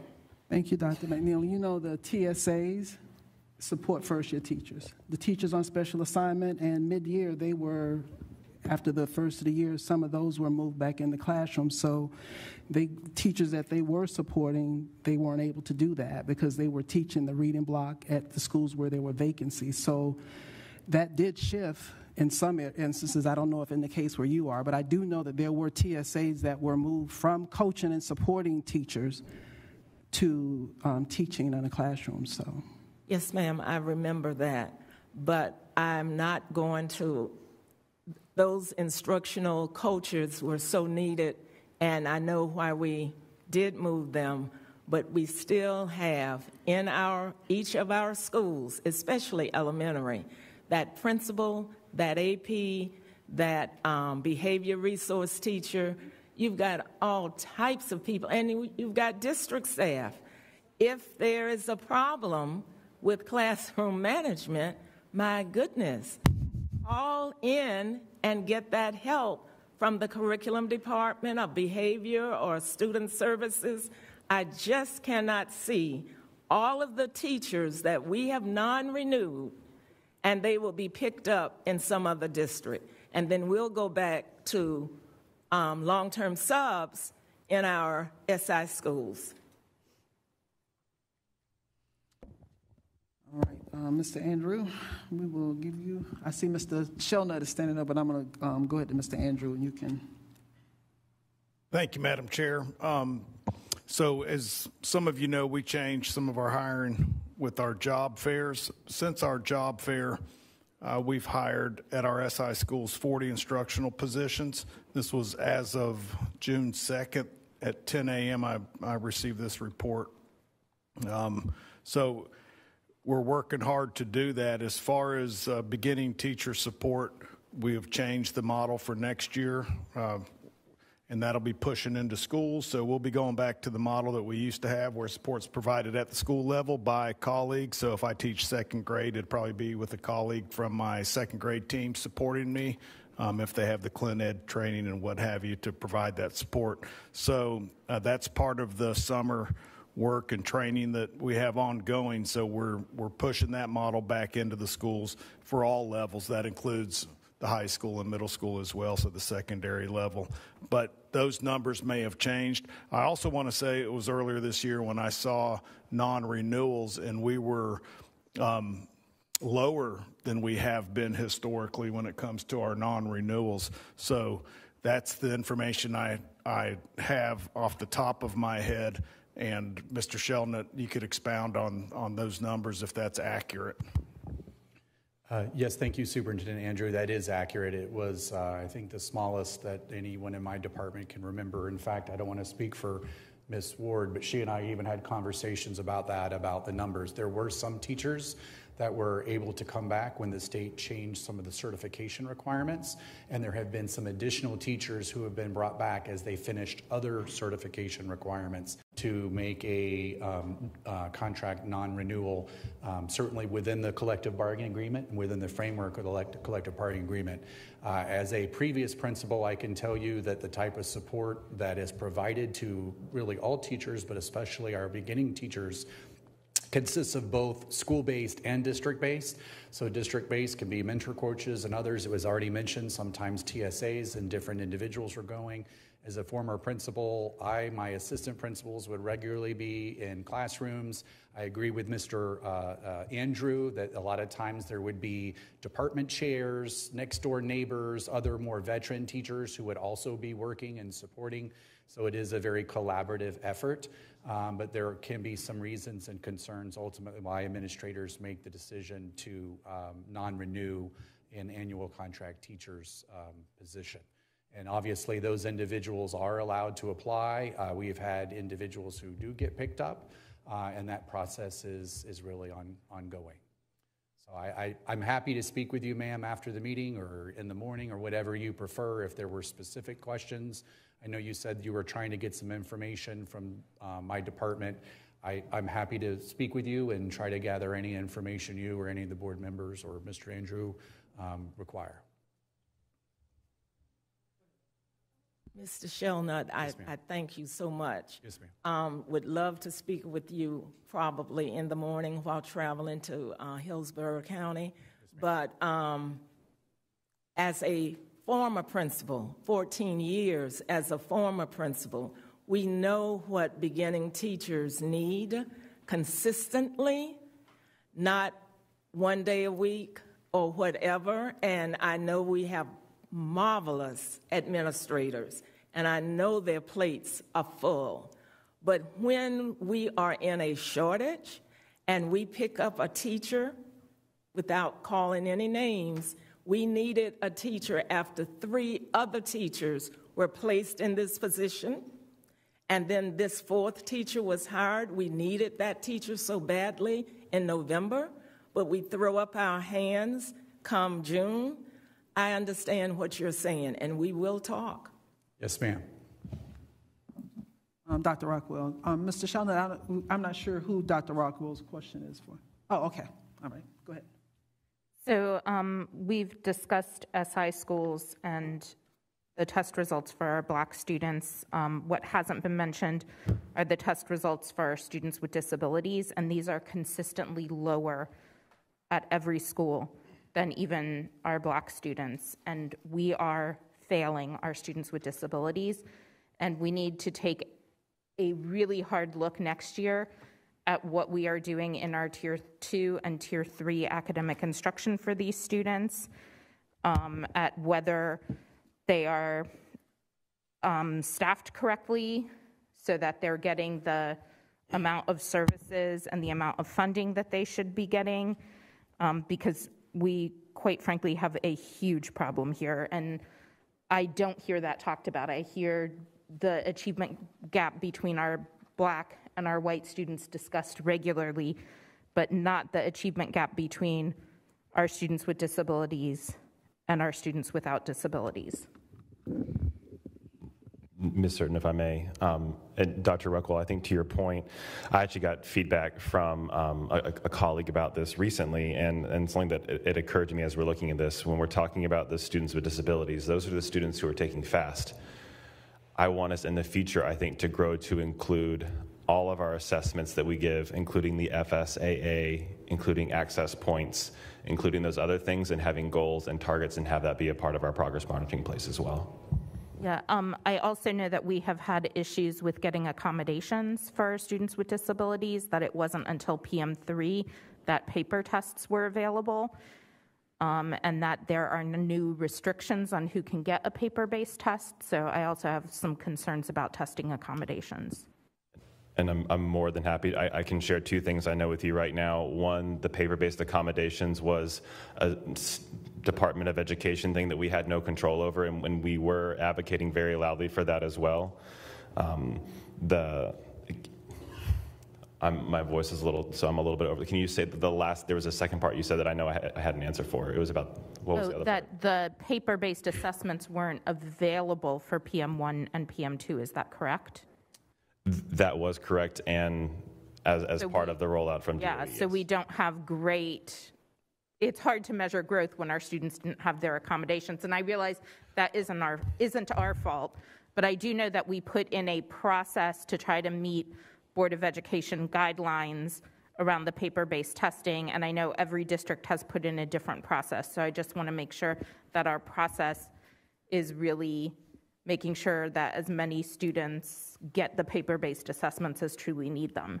Yes, and, and we worked closely with our ESE team this spring. Um, and, and I remember the part I was going to say, it was about so DOE is essentially cracking down on preference for paper-based testing. So many kids' accommodations simply state that they have a preference for paper-based comment. Like they they rolled out and gave us a criteria that we worked with our ESE team on to turn into a guideline and template for our schools to use around ensuring that kids got the appropriate accommodations and had that um, noted in their IEPs as well. So there was more language on that, and I'm happy to share that with you and the board. The both the language we got from DOE and the template and the tool that we worked with our ESE team on to equip schools with. Anyone, um, uh, Ms. McGraw?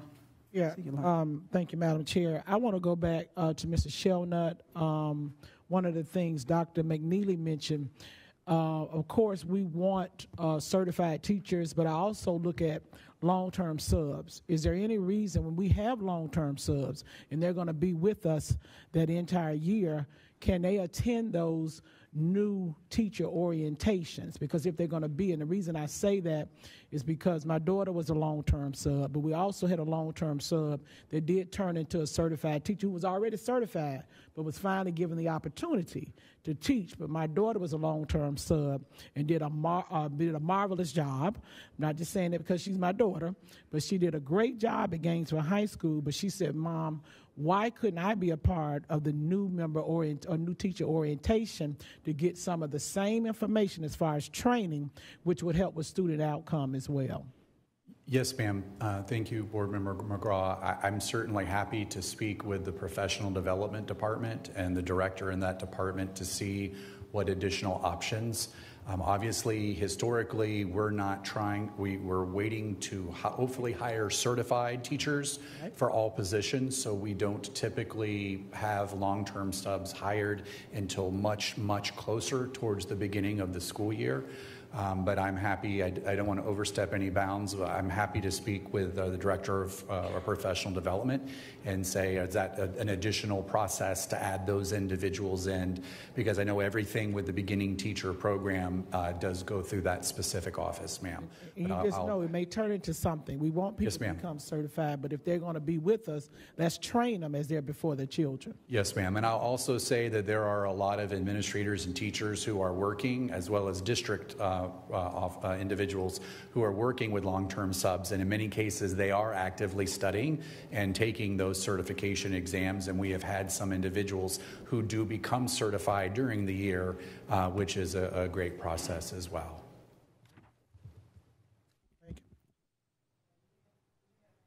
Ah, any public input? Any citizen input from the phones? Are they for this item here? Okay, so they'll have to wait then, okay? All right, then, if they're not for the ABC, we're going to go on and move to our action items, and we're, as I said at the beginning, we moved um, the change order. Ah, this, this been so long? Yes. We on consent, yes. I keep, I don't, I'm, I'm like giddy up horse. All right. Madam Chair, the superintendent recommends that the school board approve the consent agenda as described in items 2 through 15. So moved. Second. Motion by Dr. Rockwell, second by Ms. McGraw to, for the consent agenda items as presented. Is there any discussion? Any public input before I come back to the board? Any public input? Okay, um, Ms. Abbitt? I had a question about uh, the design fees for Buchholz, and I was just wondering what's going to be done to the entry. Um, Yeah, okay. Uh, Good evening, uh, Board Chair, Board members, and Superintendent Andrew. That is a safety and security project Oh, okay. for creating a Sallyport entryway. Thank you for that. Um, Anyone else have any questions? I have a couple on the um, title grants that I have, but before I go, okay. Ms. Abbitt, do you have anything else? I had one more thing. Um, The Cirrus, uh, under the bids and renewals, I'm just wondering exactly what that is. Is that sign language? Was, it- did that have to do with the contract that follows? Okay. And I was just wondering why it went up $120,000. I, I, I can share with you. Black has left, but I called and asked about that. Um, That dates back to March. The rates, because we had more children and folks that needed accommodations for sign language, and we exceeded the PO amount. And so from March, we were over budget. So from March until August is what that increase covers. And I, just so you know, I asked Ms. Black if it would probably be more economical for us to hire on, try to hire staff to do interpretation, interpreting instead of having it all contracted out. And she says that they are exploring an option of trying to um, consolidate some job descriptions to increase the pay so that it would be financially appealing to people to work for the district versus a contractor because we're spending so much with the contractor. They were like 70 five dollars an hour, and she got them down to fifty-five or something along that line. So, okay. Um, I, I had a couple questions on the title grants. I guess, I, I, and the first one was already a- answered for me. Ms. Wise told me they've already been submitted because of the um, because of the date was yesterday. So, um, and the others, I sent some questions to her. I'm just going to let them go um, at that since the the apps have already gone. So. So is there any, any other phone calls you have for anything on the consent agenda? Nothing? Okay. Any other board discussion or questions? If seeing none, all in favor of approving the consent agenda as presented?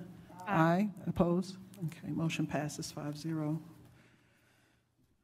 right, Ms. Nguyen is at the lectern. Good evening, I'm Suzanne Nguyen. I'm the Director of Planning and Construction and Facilities. I'm here to represent Action Change Order Number Six for Project SBAC AT, I'm sorry, A 1904, the Westwood Middle School redesign and redevelopment. Our previous five change orders were for owner direct purchase. We had a cumulative tax savings of $406,660.34, just as an FYI. This change order adds $1,127,406.73 to the contract, revising the contract total to $26,273,330.15. This amount represents an increase in cost for the removal of one abandoned fuel ta- oil tank discovered during excavation work and all contaminated soil surrounding and associated with this tank and a second tank that was removed in 1985. These tanks contained heating oil, petroleum product.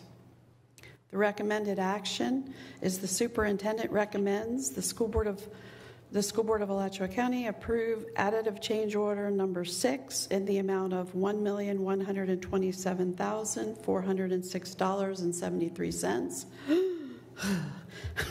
Revising the contract total to $26,273,330.15. This change order adds 56 consecutive calendar days to the contract time. The new substantial completion date is July 3rd of 2024. Is there a motion? Second. A motion by Ms. Abbitt, second by Dr. Rockwell. Any um, public input? Any board discussion? So um, I was hoping that we had um, a remediation insurance coverage for it, but it doesn't appear that we do, huh? That was the determination of, of the insurance carrier, yeah. We just received that information this past week. Okay. All right, and so is there, if there's no other discussion, we're ready to vote? Okay, all in favor? Aye. Any opposed? Okay, motion passes 5-0. Thank you, gentlemen. I know it was a long time getting there, but, Thank you. all right then. Let's put on the road again. All right, so let me let me go back up here now to our other items that we have here. Our employee cases. Yes, ma'am. Uh, Chair, certain members of the board, uh, employee case 0171-44, the superintendent recommends that the board terminate the employee effective June 7th, 2023. Is there a motion? So move. Second. Motion by Dr. McNealy, second by Ms. McGraw. Any discussion? Any public input? Okay, all in favor? Aye. Any opposed? Okay, motion passes 5-0. The second case we were told was pulled, so we go to, to, to third case. Uh, Thank you, Board Chair. Employee case 0271-25. The superintendent recommends that the board suspend the employee with pay for a period not to exceed 90 days, 90 calendar days, excuse me, such suspension to continue thereafter without pay pending termination proceedings. So move. Second. Motion by Ms. McGraw, second by Dr. Rockwell. Any discussion? Any public input? Okay. All in favor? Aye. Any opposed? Okay. All right, thank you, Mr. Shelnut. That's it for those. Um, We have our item four, the reading plan. Ms. Thank- Yes, thank you, Chair Certain, board members, and Superintendent Andrew. Um, We have for you this evening the initial draft of our 23-24 Comprehensive Evidence-Based Reading Plan. Um, The superintendent recommends uh, approving our plan. Um, in order, if it's approved uh, before June 15th, funding can begin being released on July 1. Is there a motion? So move. Second.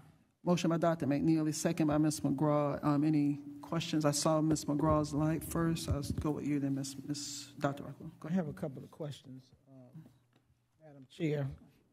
Um, In B, where it talks about the school literacy uh, leadership teams, um, do we have evidence that they have been uh, meeting, uh, developed a leadership team at the schools? Are they doing that now?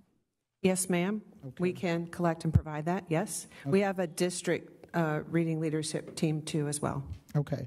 And the other thing is, it, um, the leadership, uh, the literacy leadership team, is that only for raised schools or that's going to be for all schools? I believe that's all schools, but I might have to double check that. I believe every school has a literacy leadership team. Uh, And then on the second, on number um, three, where it talks about describe what has been revised to improve literary outcomes, um, I really want to make sure because we know we got to make change. This was a whole harm this year. But what is the action plan to support our principals? I mean, we want to make sure we have enough oversight. We want to make sure we have enough guidance for this. And so, who's going to ensure this monitoring monitoring will take place, and who would they report back to? We got to make sure. I think that gives to what Dr. McNealy was saying um, earlier about making sure we're supporting, because we know this year uh, we're going to have to make progress. I just want to make sure what is the action plan to support our principals, who then would you know meet with their leadership team uh, and then you know it trickles on down to the teachers. Yes, ma'am, that's a great question. Um, Mr. Barry and um, our director of the professional development department, Ms. Petty Farrar, will be meeting with Lastinger next week um, to talk about how they can help support us with administrator um, professional development, specifically around literacy. And then our executive directors for elementary and curriculum are the immediate supervisors of our principals. So they would be tasked with um, ensuring that the reading plans are implemented with fidelity. And Mr. Barry and I share the responsibility of supervising and supporting our assistant principals together with their principals. And so we'll be helping with that. And I noticed also on number four, when it talks about these obs- observations will be stored Google Drive, and you know principals will be you know conducting weekly classrooms. I just want to make sure we're not one and done. Again, we got to make sure this is happening. When are they going to be trained? Uh, I, I see on this this reading tool, this reading plan implementation, all of that. I just want to make sure because I'm really concerned about this year. It's got to be a year of achievement. Yes, ma'am, and, and we know well that the um, frequency and quality of feedback is what makes the biggest difference, and so that's why we'll be collecting that data and storing it for review. Okay. And the the other question, the last question I have is, when we talk about, I know some of the teachers and then how they're going to ensure that the Illuminate platform, we're talking about Illuminate, align with best practices because I know teachers have been expressing uh, Illuminate to make sure they can pass the PM1 and the 2 and the 3 because they don't align when you're pulling certain assessments. It's what teachers are, have shared when it comes to using Illuminate. I'm not And sure. I understand. Are you talking about some of the assessments in Illuminate or actually Right, using the software? Right now, we have a new test. We're, we're dealing with PM, the FAST. And so teachers are saying that Illuminate is there, but are those assessments Mm-hmm. aligned with, it does Illuminate align with our best standards as far as they're now taking, you know, because we want them to be, when they're practicing, taking tests. That's right. I mean, taking questions and answering like that are going to help them pass the PM one, two, and three. So that's, I mean, very obviously and basically the point of those um, assessments that are housed in Illuminate, as well as the assessments that are for frequent progress monitoring that are associated with our core adopted materials. Um, we do get feedback from teachers about a, a bad question or if they don't feel like the assessment is effectively measuring the rigor of the standard, and we take that feedback and work on it.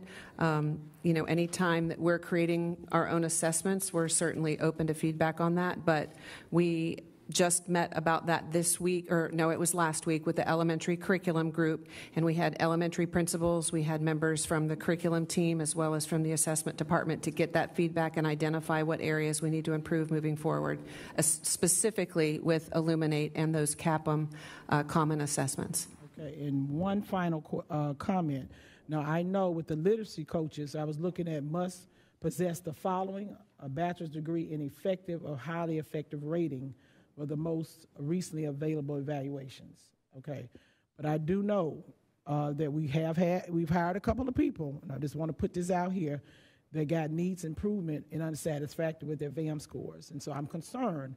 We have to make sure if we're going to say this, I want to make sure this is happening because the next year, we have, this year coming up for 23, 24, we cannot have people who are not going to make sure academic progress is coming to these teachers. And if their VAM scores are low, that, that's not effective, and that should not be happening. And that's my comment. Thank you, Madam Chair. Um, Dr. Rockwell, would you turn your light off, Ms. McGraw, for me, please? Um, so one of my questions on page two of the reading plan, um, it's got $265,000 um, for tutoring programs, but no FTE. So that's not paying for tutors. What is that paying for? So this is um, the stipend that teachers, so our classroom teachers are paid $28 an hour to tutor after school. Um, And we have a Google Drive for every school that has listed every teacher, every student they see, the frequency, the duration, pre-tests and post-tests, and we have that information. So that 265, just slightly over $265,000 is money that will be set aside to do um, that intensive literacy tutoring next year. And that's, that's not the Beyond the Bell tutoring, or? No, ma'am. Okay. so This is these are- specifically literacy, and face to the face. Students, students are specifically nominated to participate in that based on need? Identified by their DIBELS score or iStation. Okay.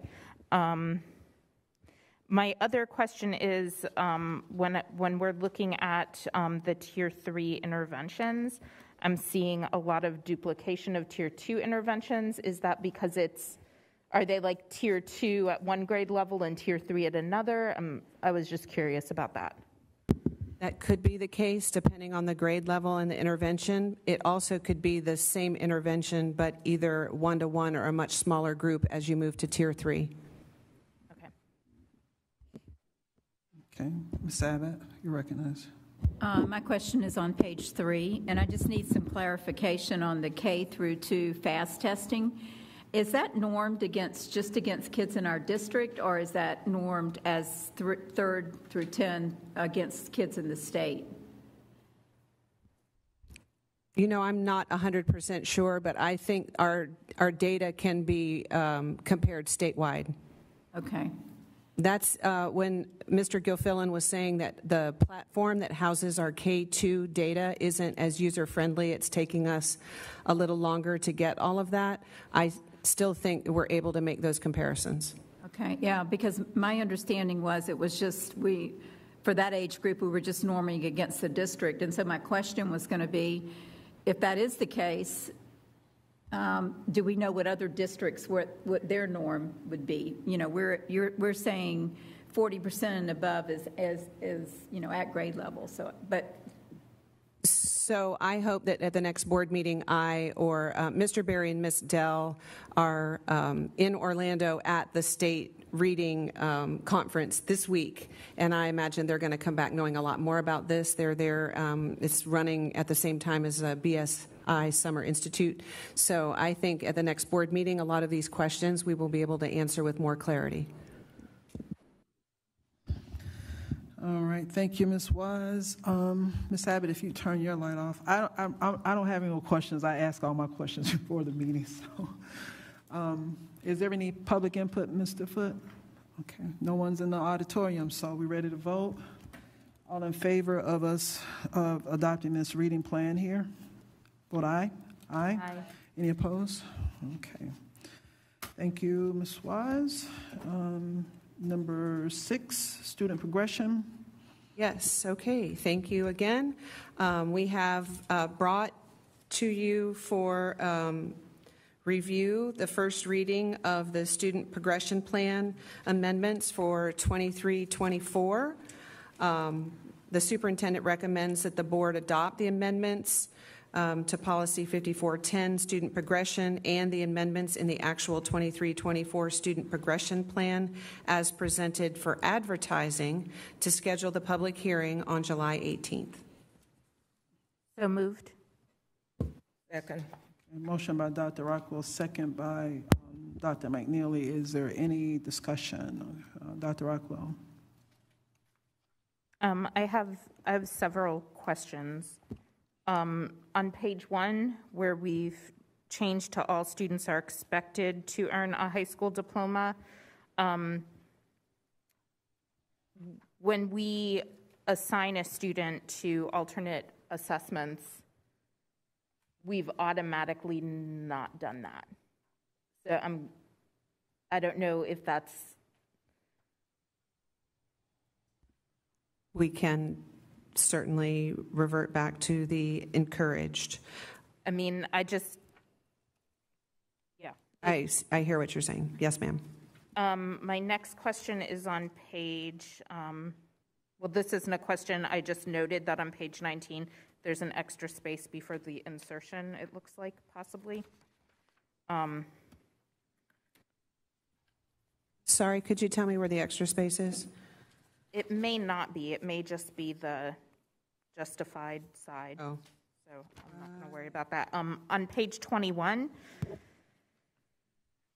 item three, we have the steam magnet, but we didn't include the A when defining it. So science, technology, engineering, math.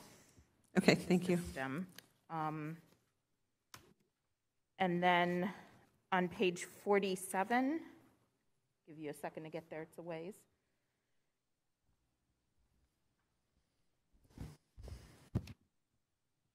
We have, um, students need to have eight credits in electives. Um, Do we need to specify the half credit in financial literacy that's in the revised 5460 policy that we just had the public Yes. hearing on? hmm that's correct. And I think that's all of it. Okay, thank you for that. And Ms. Wise, on page, well, 21, I guess, m- actually not you, this is for Mr. Andrew. The Fine Arts Magnet at Rollins, I thought during budget committee meeting, we were discussing eliminating that due to low enrollment and student performance and the extra units that they had in, in, for that. We scaled back the units that they were allocated. They're special units. Yeah. So that without those units, they still can have the magnet? No, we, we haven't brought that to the board on the magnet there, but we scaled back in budget committee as we discussed the number of units allocated. And I think, Mrs. Wise, with the magnet there, would we have five or eight students that were attending there as a magnet? Currently, Mr. Andrew, I'm sorry, I don't have the number of applications and acceptances for this year, but I can get that for you and the board. Yes, yes, Dr. McNealy. I guess I'm just trying to figure out how we scale back the units and how we're going to provide, because the, the, the, they had like two or three extra units there just to do because of the- of the electives, but that's, I mean, I had the questions of my colleagues, some of the, the things that Dr. Rockwell, but that was my question I had there. I had a question earlier when Mrs. Gallagher um, was speaking as far as the um, money. Because of Rollins, um, yes, they have been involved in international research, but when we pull down a magnet program, and I know those students really need core academics, but let's face it, they also need some additional things other than just reading ELA and math and science. These are some of our children who are some of the neediest, if that's a correct grammar word, in our district. Right now, it has been scaled back, and we have a music teacher in supposedly magnet program and dance. Please do not call it a continua, continuation of magnet if that's the only thing that we are going to offer for those students. I know how much we are pushing for academics, but let's face it, when you have been involved in reading and math all day long and you have nothing else to look forward to, and I know my colleagues would be saying that's the problem. But let's face it, elementary school, and because I- was in F school and we continued with our fine arts program, it needs to be revisited and looked at. I would not want us to be calling, well, the superintendent just said it's scaled back, but it's more than scaled back when you only have two teachers. One of the um, magnet teachers was placed at another school in the district, so now we're down to two. Thank you, Madam, And Madam Chair, if I may, on that, um, so yes, we'll get with Kim Neal on the name change, and we did scale back, and we've, we've uh, listened to the Bureau of School Improvement. They've given us advice too. It's so hard when they were running so many different specials to get the school scheduled and then to have the adequate instructional time. So You know, I think a lot of it too is related to actual performance, and I don't disagree uh, with the impact that fine arts have. Um, yet at the same time, part of the Bureau of School Improvements recommendations to us were to look at how we have the school scheduled, and that it was making it additionally difficult to do that. Uh, They'll still have the specials, Dr. McNealy. Yes. They're not getting rid of the specials. They- They're still going to have that. You don't have to push your light back on. Come on. I see you. Go ahead. I hear you, Madam Chair. Yes, they will have their art and music. I don't, I, this is a conversation that I need to have with the superintendent, Ms. Neal, the principal, some of our colleagues up here. The children that we're talking about that are so low and, and struggling, they don't have the extras that supposedly were being offered in the magnet. I cannot speak, and if the state board says put a close to it, then you don't have anything else that you can do. But I, I, I just, my heart breaks for the children that we serve at that school who will be now eliminated from the extra things. And scheduling is a problem, but if you schedule it right, Superintendent Andrew and others, it can be done. Electives are electives, and you don't have to do dance and music and architect and um, sculpturing every single day. I know that for a fact. 14 years of it. So, so help me, help me. Yes, ma'am.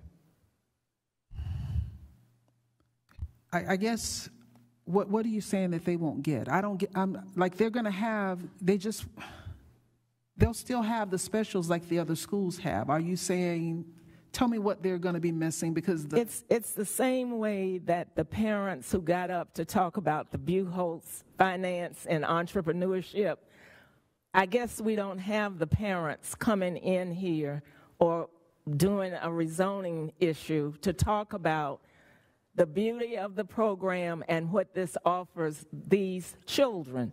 And when I say these children, I mean all of the children. I hear that we only had seven kids to apply for the magnet. However, I thought it was an all school magnet.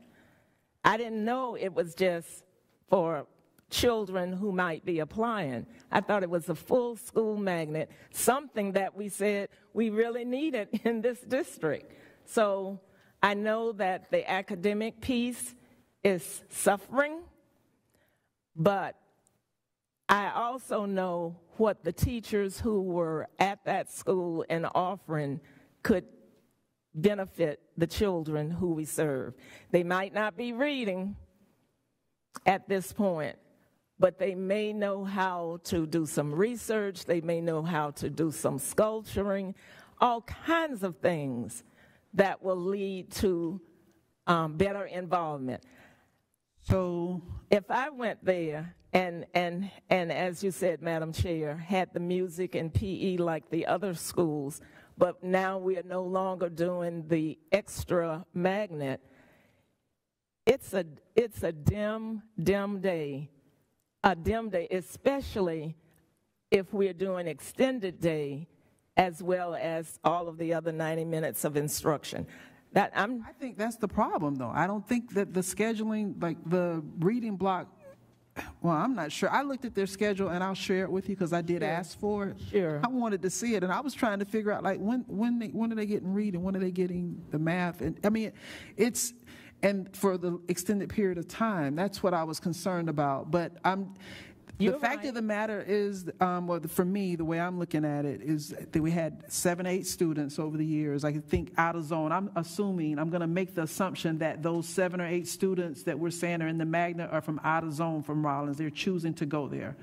Right? That's correct. There were three acceptances so far this year. Ms. Neal messaged me. But I think I saw Mrs. Wise head nod when I said it's a school-wide magnet. School-wide. So it's school, it's school-wide programming that isn't happening to magnetize right now.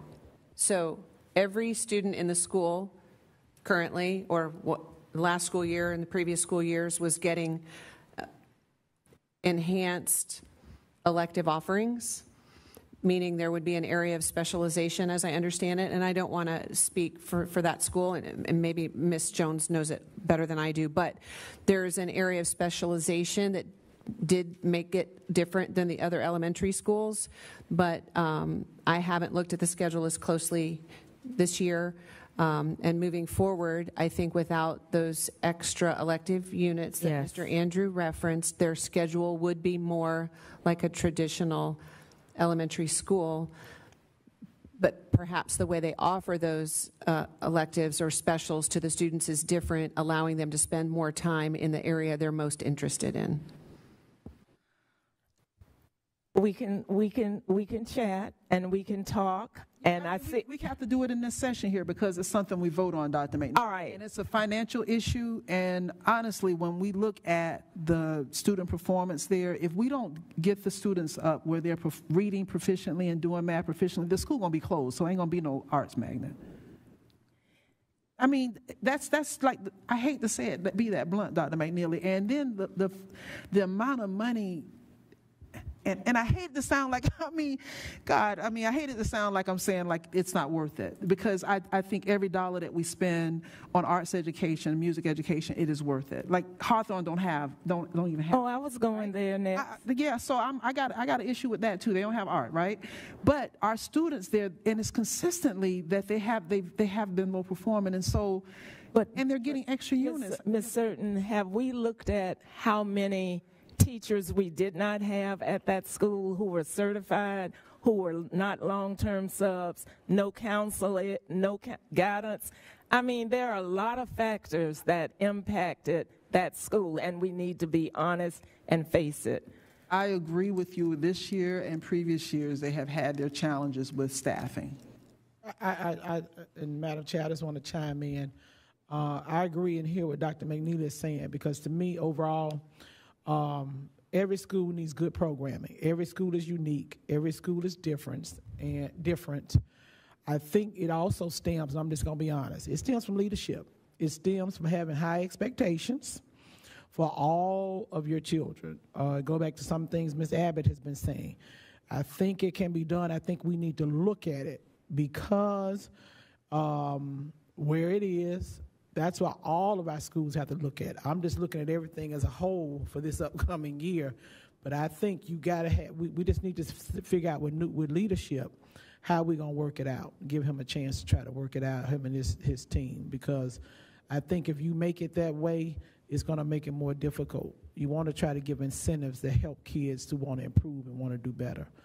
Um, and the staff that really cares, that is there, is really concerned about that. Because I know I've gotten several phone calls about taking away, but also how are we advertising this magnet? How are we making sure parents know about it? But also, I think it stems from leadership, and the overall leadership has got to look at the overall environment of, uh, of, of uh, that particular school.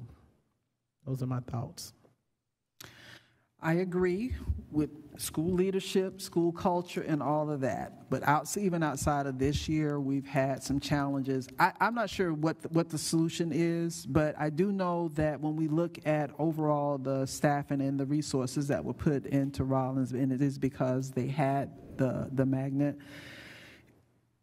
It's off the allocation. It's not part of the allocation manual. So those additional units that they were getting there and entering into um, where we are with um, our funding, that is something we're going to have to look at. And, and the mill now is being shared.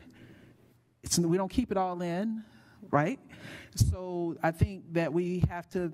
It's one of those things we have to look at. So I don't. I don't. I'm not privy to what the DOE has shared with eh, with Mr. Andrew. I'm not privy to that, but I do know in in the the budget committee meeting, it was just looked at. You know the the draw there and the focus that they need to make, and it's, it's beyond this one year. You know, Dr. McNealy, I've complained to you about Rollins, how it has been the, the status of that school for four years. My fir- whole first four years, I've complained to you about where it is and the things I've had issues there.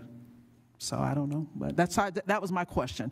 I saw it here, and it was this progression guide differed from what had been discussed and what's been moved forward with in the budget committee meeting. And so that was why I had the question. So I don't know where that puts us with this. This is first reading. It's not concrete today, but this is right first reading. Sorry, yes, and I, I do, I think I misspoke, Dr. Rockwell, that um, even our students who are taking the Florida alternative assessment are being tested at the access points of the Florida standards, and they are earning a regular diploma. So they, so we don't have any students who are getting like a certificate of attendance or anything like that? That's if No. the gra- graduation requirements. Not, uh, not unless they don't meet the graduation requirements. But there is a pathway for students who take the alternate assessment to earn a regular diploma. Dr. McNealy, your light is still on. Are we good? You good? Okay. All right. All right, we ready to vote? We've had some good discussion. We have any citizen input, sir? All right, then, um, all in favor of thus moving the student progression plan forward, um, vote aye. Aye. Oppose? Okay, thank you. All right. Ms. Nguyen? Why do you, oh, I'm sorry, we did that one already. Okay, um, Madam Chair, we're to item seven, the social media representation agreement. Um, The board is, has before it a recommendation to sign an attorney-client engagement agreement with uh, many of the lawyers who represented the school district recently um, as part of the um, dozens of school districts around the country who sued Juul for the vaping litigation. And we recently brought to the board, uh, I think in the last couple months, a settlement out of that that's going to be paid out over the next several years.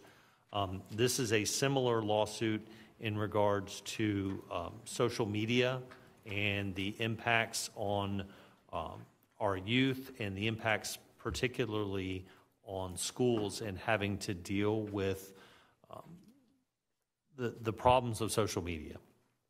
Um, There are materials here for the board uh, from the attorneys who are proposing to bring this litigation or asking us to uh, sign up with them to have them represent us.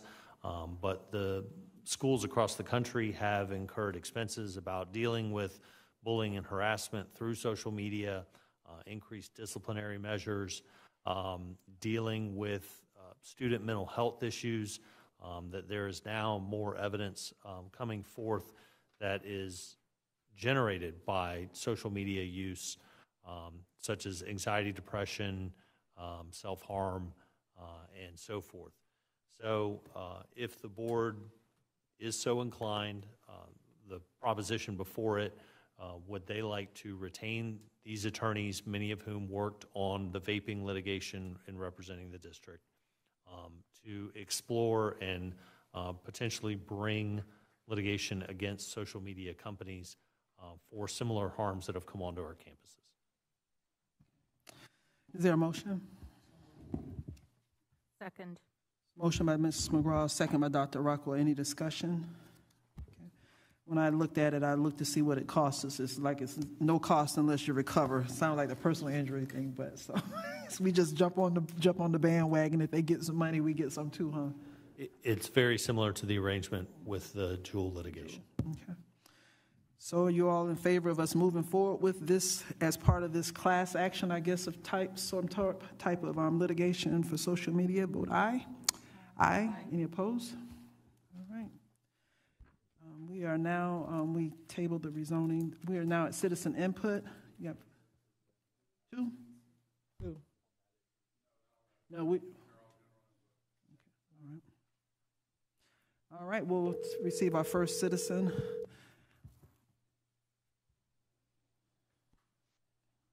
Caller, please state your name. You have three minutes with the board. Hi, my name is Calista Barsha. Um, I was calling to comment on Miss Gallagher about the one mill and Rollins being a fine arts of the school. Um, but I guess y'all are already talking about um, that because, frankly, like the culinary teacher, he, all he did was talk about his chickens and his chickens laying eggs. That is not culinary. And I've been trying to talk to y'all about that forever, but I guess y'all are already on top of that. Miss Kay Abbitt, thank you so much for bringing up the point about how kids are they being passed along or are they not ready or whatever. My daughter, she barely passed along on the test line, but she passed on average with her school. Like where my son, like he was top of the school, top of the county, top of the state on his PM3. Um, but my daughter, she was barely passing. The school gave her a book um, to be ready for the fifth grade, um, to prepare her for the fifth grade. That was awesome um, for an SI school to do that. I've never had a school do that for any of my kids. So hopefully she will be ready. Um, because she does get accommodations. She does have special needs, so she is an ESE student um, in regular classes. Um, so that's awesome. Also, her testing accommodations, she's supposed to get voice to text. I just found out at this board meeting that she could have gotten accommodations. Um, so she didn't get voice to text, but I hope y'all have a great evening and a lovely night. And those are some points to think about. Um, but thank you, Ms. Kay Abbitt, for just bringing up those testing scores. You are doing an amazing job. All of you are doing an amazing job working together. Um, I love how heated it gets, but calm it gets. Keep it up. I love the passion. Thank you so much for being passionate about our kids. That is what we need heated but calm. Thank you all.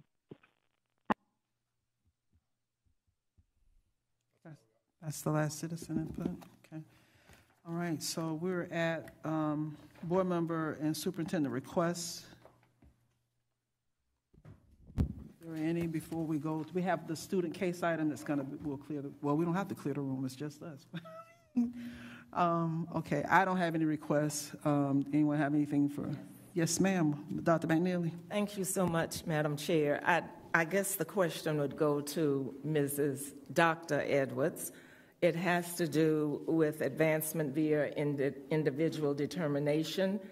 Why, uh, why did that program get pulled? How, how we fought for that? I know it started over at Gainesville High School under, I think, Mr. Shelnut, but I, I just want to know when you pulled it, because I was hoping that it would even get to the elementary level because advancement via individual determination is a school academic support program that prepares students for success and ensures students are college or career ready. And I wanted to see it at the elementary level, but it seems as if it's gone. Yes, ma'am, thank you. So uh, that program, AVID, which we've had in our district, um, was a decision that was made under the former superintendent. Um, we looked together collectively um, at the executive level at the actual program and what we were providing at our various schools. So um, AVID was offered at some but not all of our schools. It was moving by progression from grade level to grade level, but it did require additional funding and allocations in order to have supports for our AVID classes. Um, when we look at the program itself, one of the things that we found was that AVID was not being used with fidelity across our schools. When we had Dr. Uh, Beckett here with us serving um, in the capacity of the equity um, uh, teacher specialist. Um, she was able to look at each of the programs and to pull in information. And one thing that we noted that in the entire period for which we had AVID in Alachua County Public Schools, none of our schools had ever met the standards um, that allowed for them to get a certain rating within Avid. We had never reached that um, kind of like star merit status, which means that we hadn't been meeting the standards that are set forth by Avid within our schools. We met with the school principals as it related to what was being offered in schools. And one of the things that we also realized is that we were paying um, a, a, lot of fun. We paid a lot of money to fund teachers going to the summer preparation program, but then teachers were transitioning not just out of the schools that had AVID, but sometimes out of the district. So we were um, preparing people to provide a program, and then when the people left, then it left us in a place where we weren't able to have all the supports. Myself and Dr. Beckett had an opportunity to meet with the representative from AVID, um, at which time we talked to her about what does AVID offer in terms of best practices. AVID does a really, really fantastic job of packaging best practices, but they are educational best practices. Um, and so that means that they should be um, provided by all teachers who come out of school preparation programs. And so um, there were some specific questions asked of the representative whether school districts were permitted to offer um, that same information. Would there be an issue if we created our own? Um, and the answer to that question was districts certainly could do that. Um, if it was done, however, we could not use any of the terminology that was branded through the AVID program. That is where the development of the core came forth in Alachua County Public Schools last year, which is our college and career um, opportunities with rigor and engagement have come forth.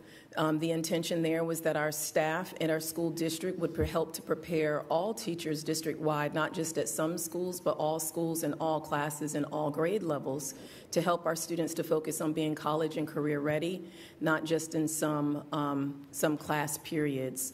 Um, I, I don't think that any of our school principals, teachers who were using the program, um, parents would say that there's anything wrong with AVID. I think that it was definitely supported um, by our instructional leaders within the buildings, but it was also extremely costly. Um, when we came in, I think last year, um, the first bill that I received as Chief of Equity, Inclusion, and Community Engagement was in the tune of $32,000. Um, it did not, it covered a portion of the schools. We still had several point twos that we were offering through the district to support AVID as well. And we also um, were looking at schools um, having funding to send teachers. And then when we went back to look at what was happening at the schools, we realized that, say, for instance, if you were in a high school and you had an avid program there and you had it in ninth grade by time you perpetuate through the avid program and you reach 12th grade a lot of the kids who would have started and they went through actually wouldn't have an opportunity to actually experience the avid program. So by time a school would be fully vested with the avid program you would have had four years to pass by where many kids never had that opportunity and even then it would not be in every class so when we transitioned away from AVID, we were not transitioning away from the expectation of high rigor or college and career going mindset, but the intention was that we would do it for all students district wide and not for some students at some schools. Dr. Edwards, I thank you for your lengthy explanation. Your first word did it the fidelity of the program. And when you don't have that, it's not going to work. And so, as far as students, I could go back and forth with you, which we will not do with time elements tonight.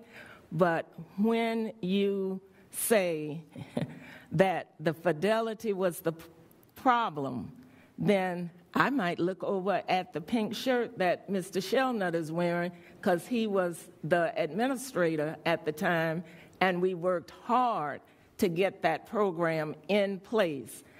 Also, with the monitoring and everything, every program is going to have to have monitoring. And if we didn't have it this year, You see where we are now? And I've heard that word fidelity over and over. So I hope we understand the definition of it and we'll get moving with it. Thank you so much. Yes, ma'am, agreed. I also want to make sure that we also highlight the other word, which was finance. We, we have to make sure that we can, I mean, financially, there is a hardship in being able to continually pay for that program and provide what was necessary um, at all of the schools because in that Avid program, as we step up and we move forward with each year, we are t- was supposed to be adding onto the program each year. Yes, but ma'am. budgetarily, we didn't necessarily have the finances to be able to add to the program. So that was part of what the thinking was. But I agree with you wholeheartedly, Dr. McNealy. That's why we were looking to see how are we doing with Avid.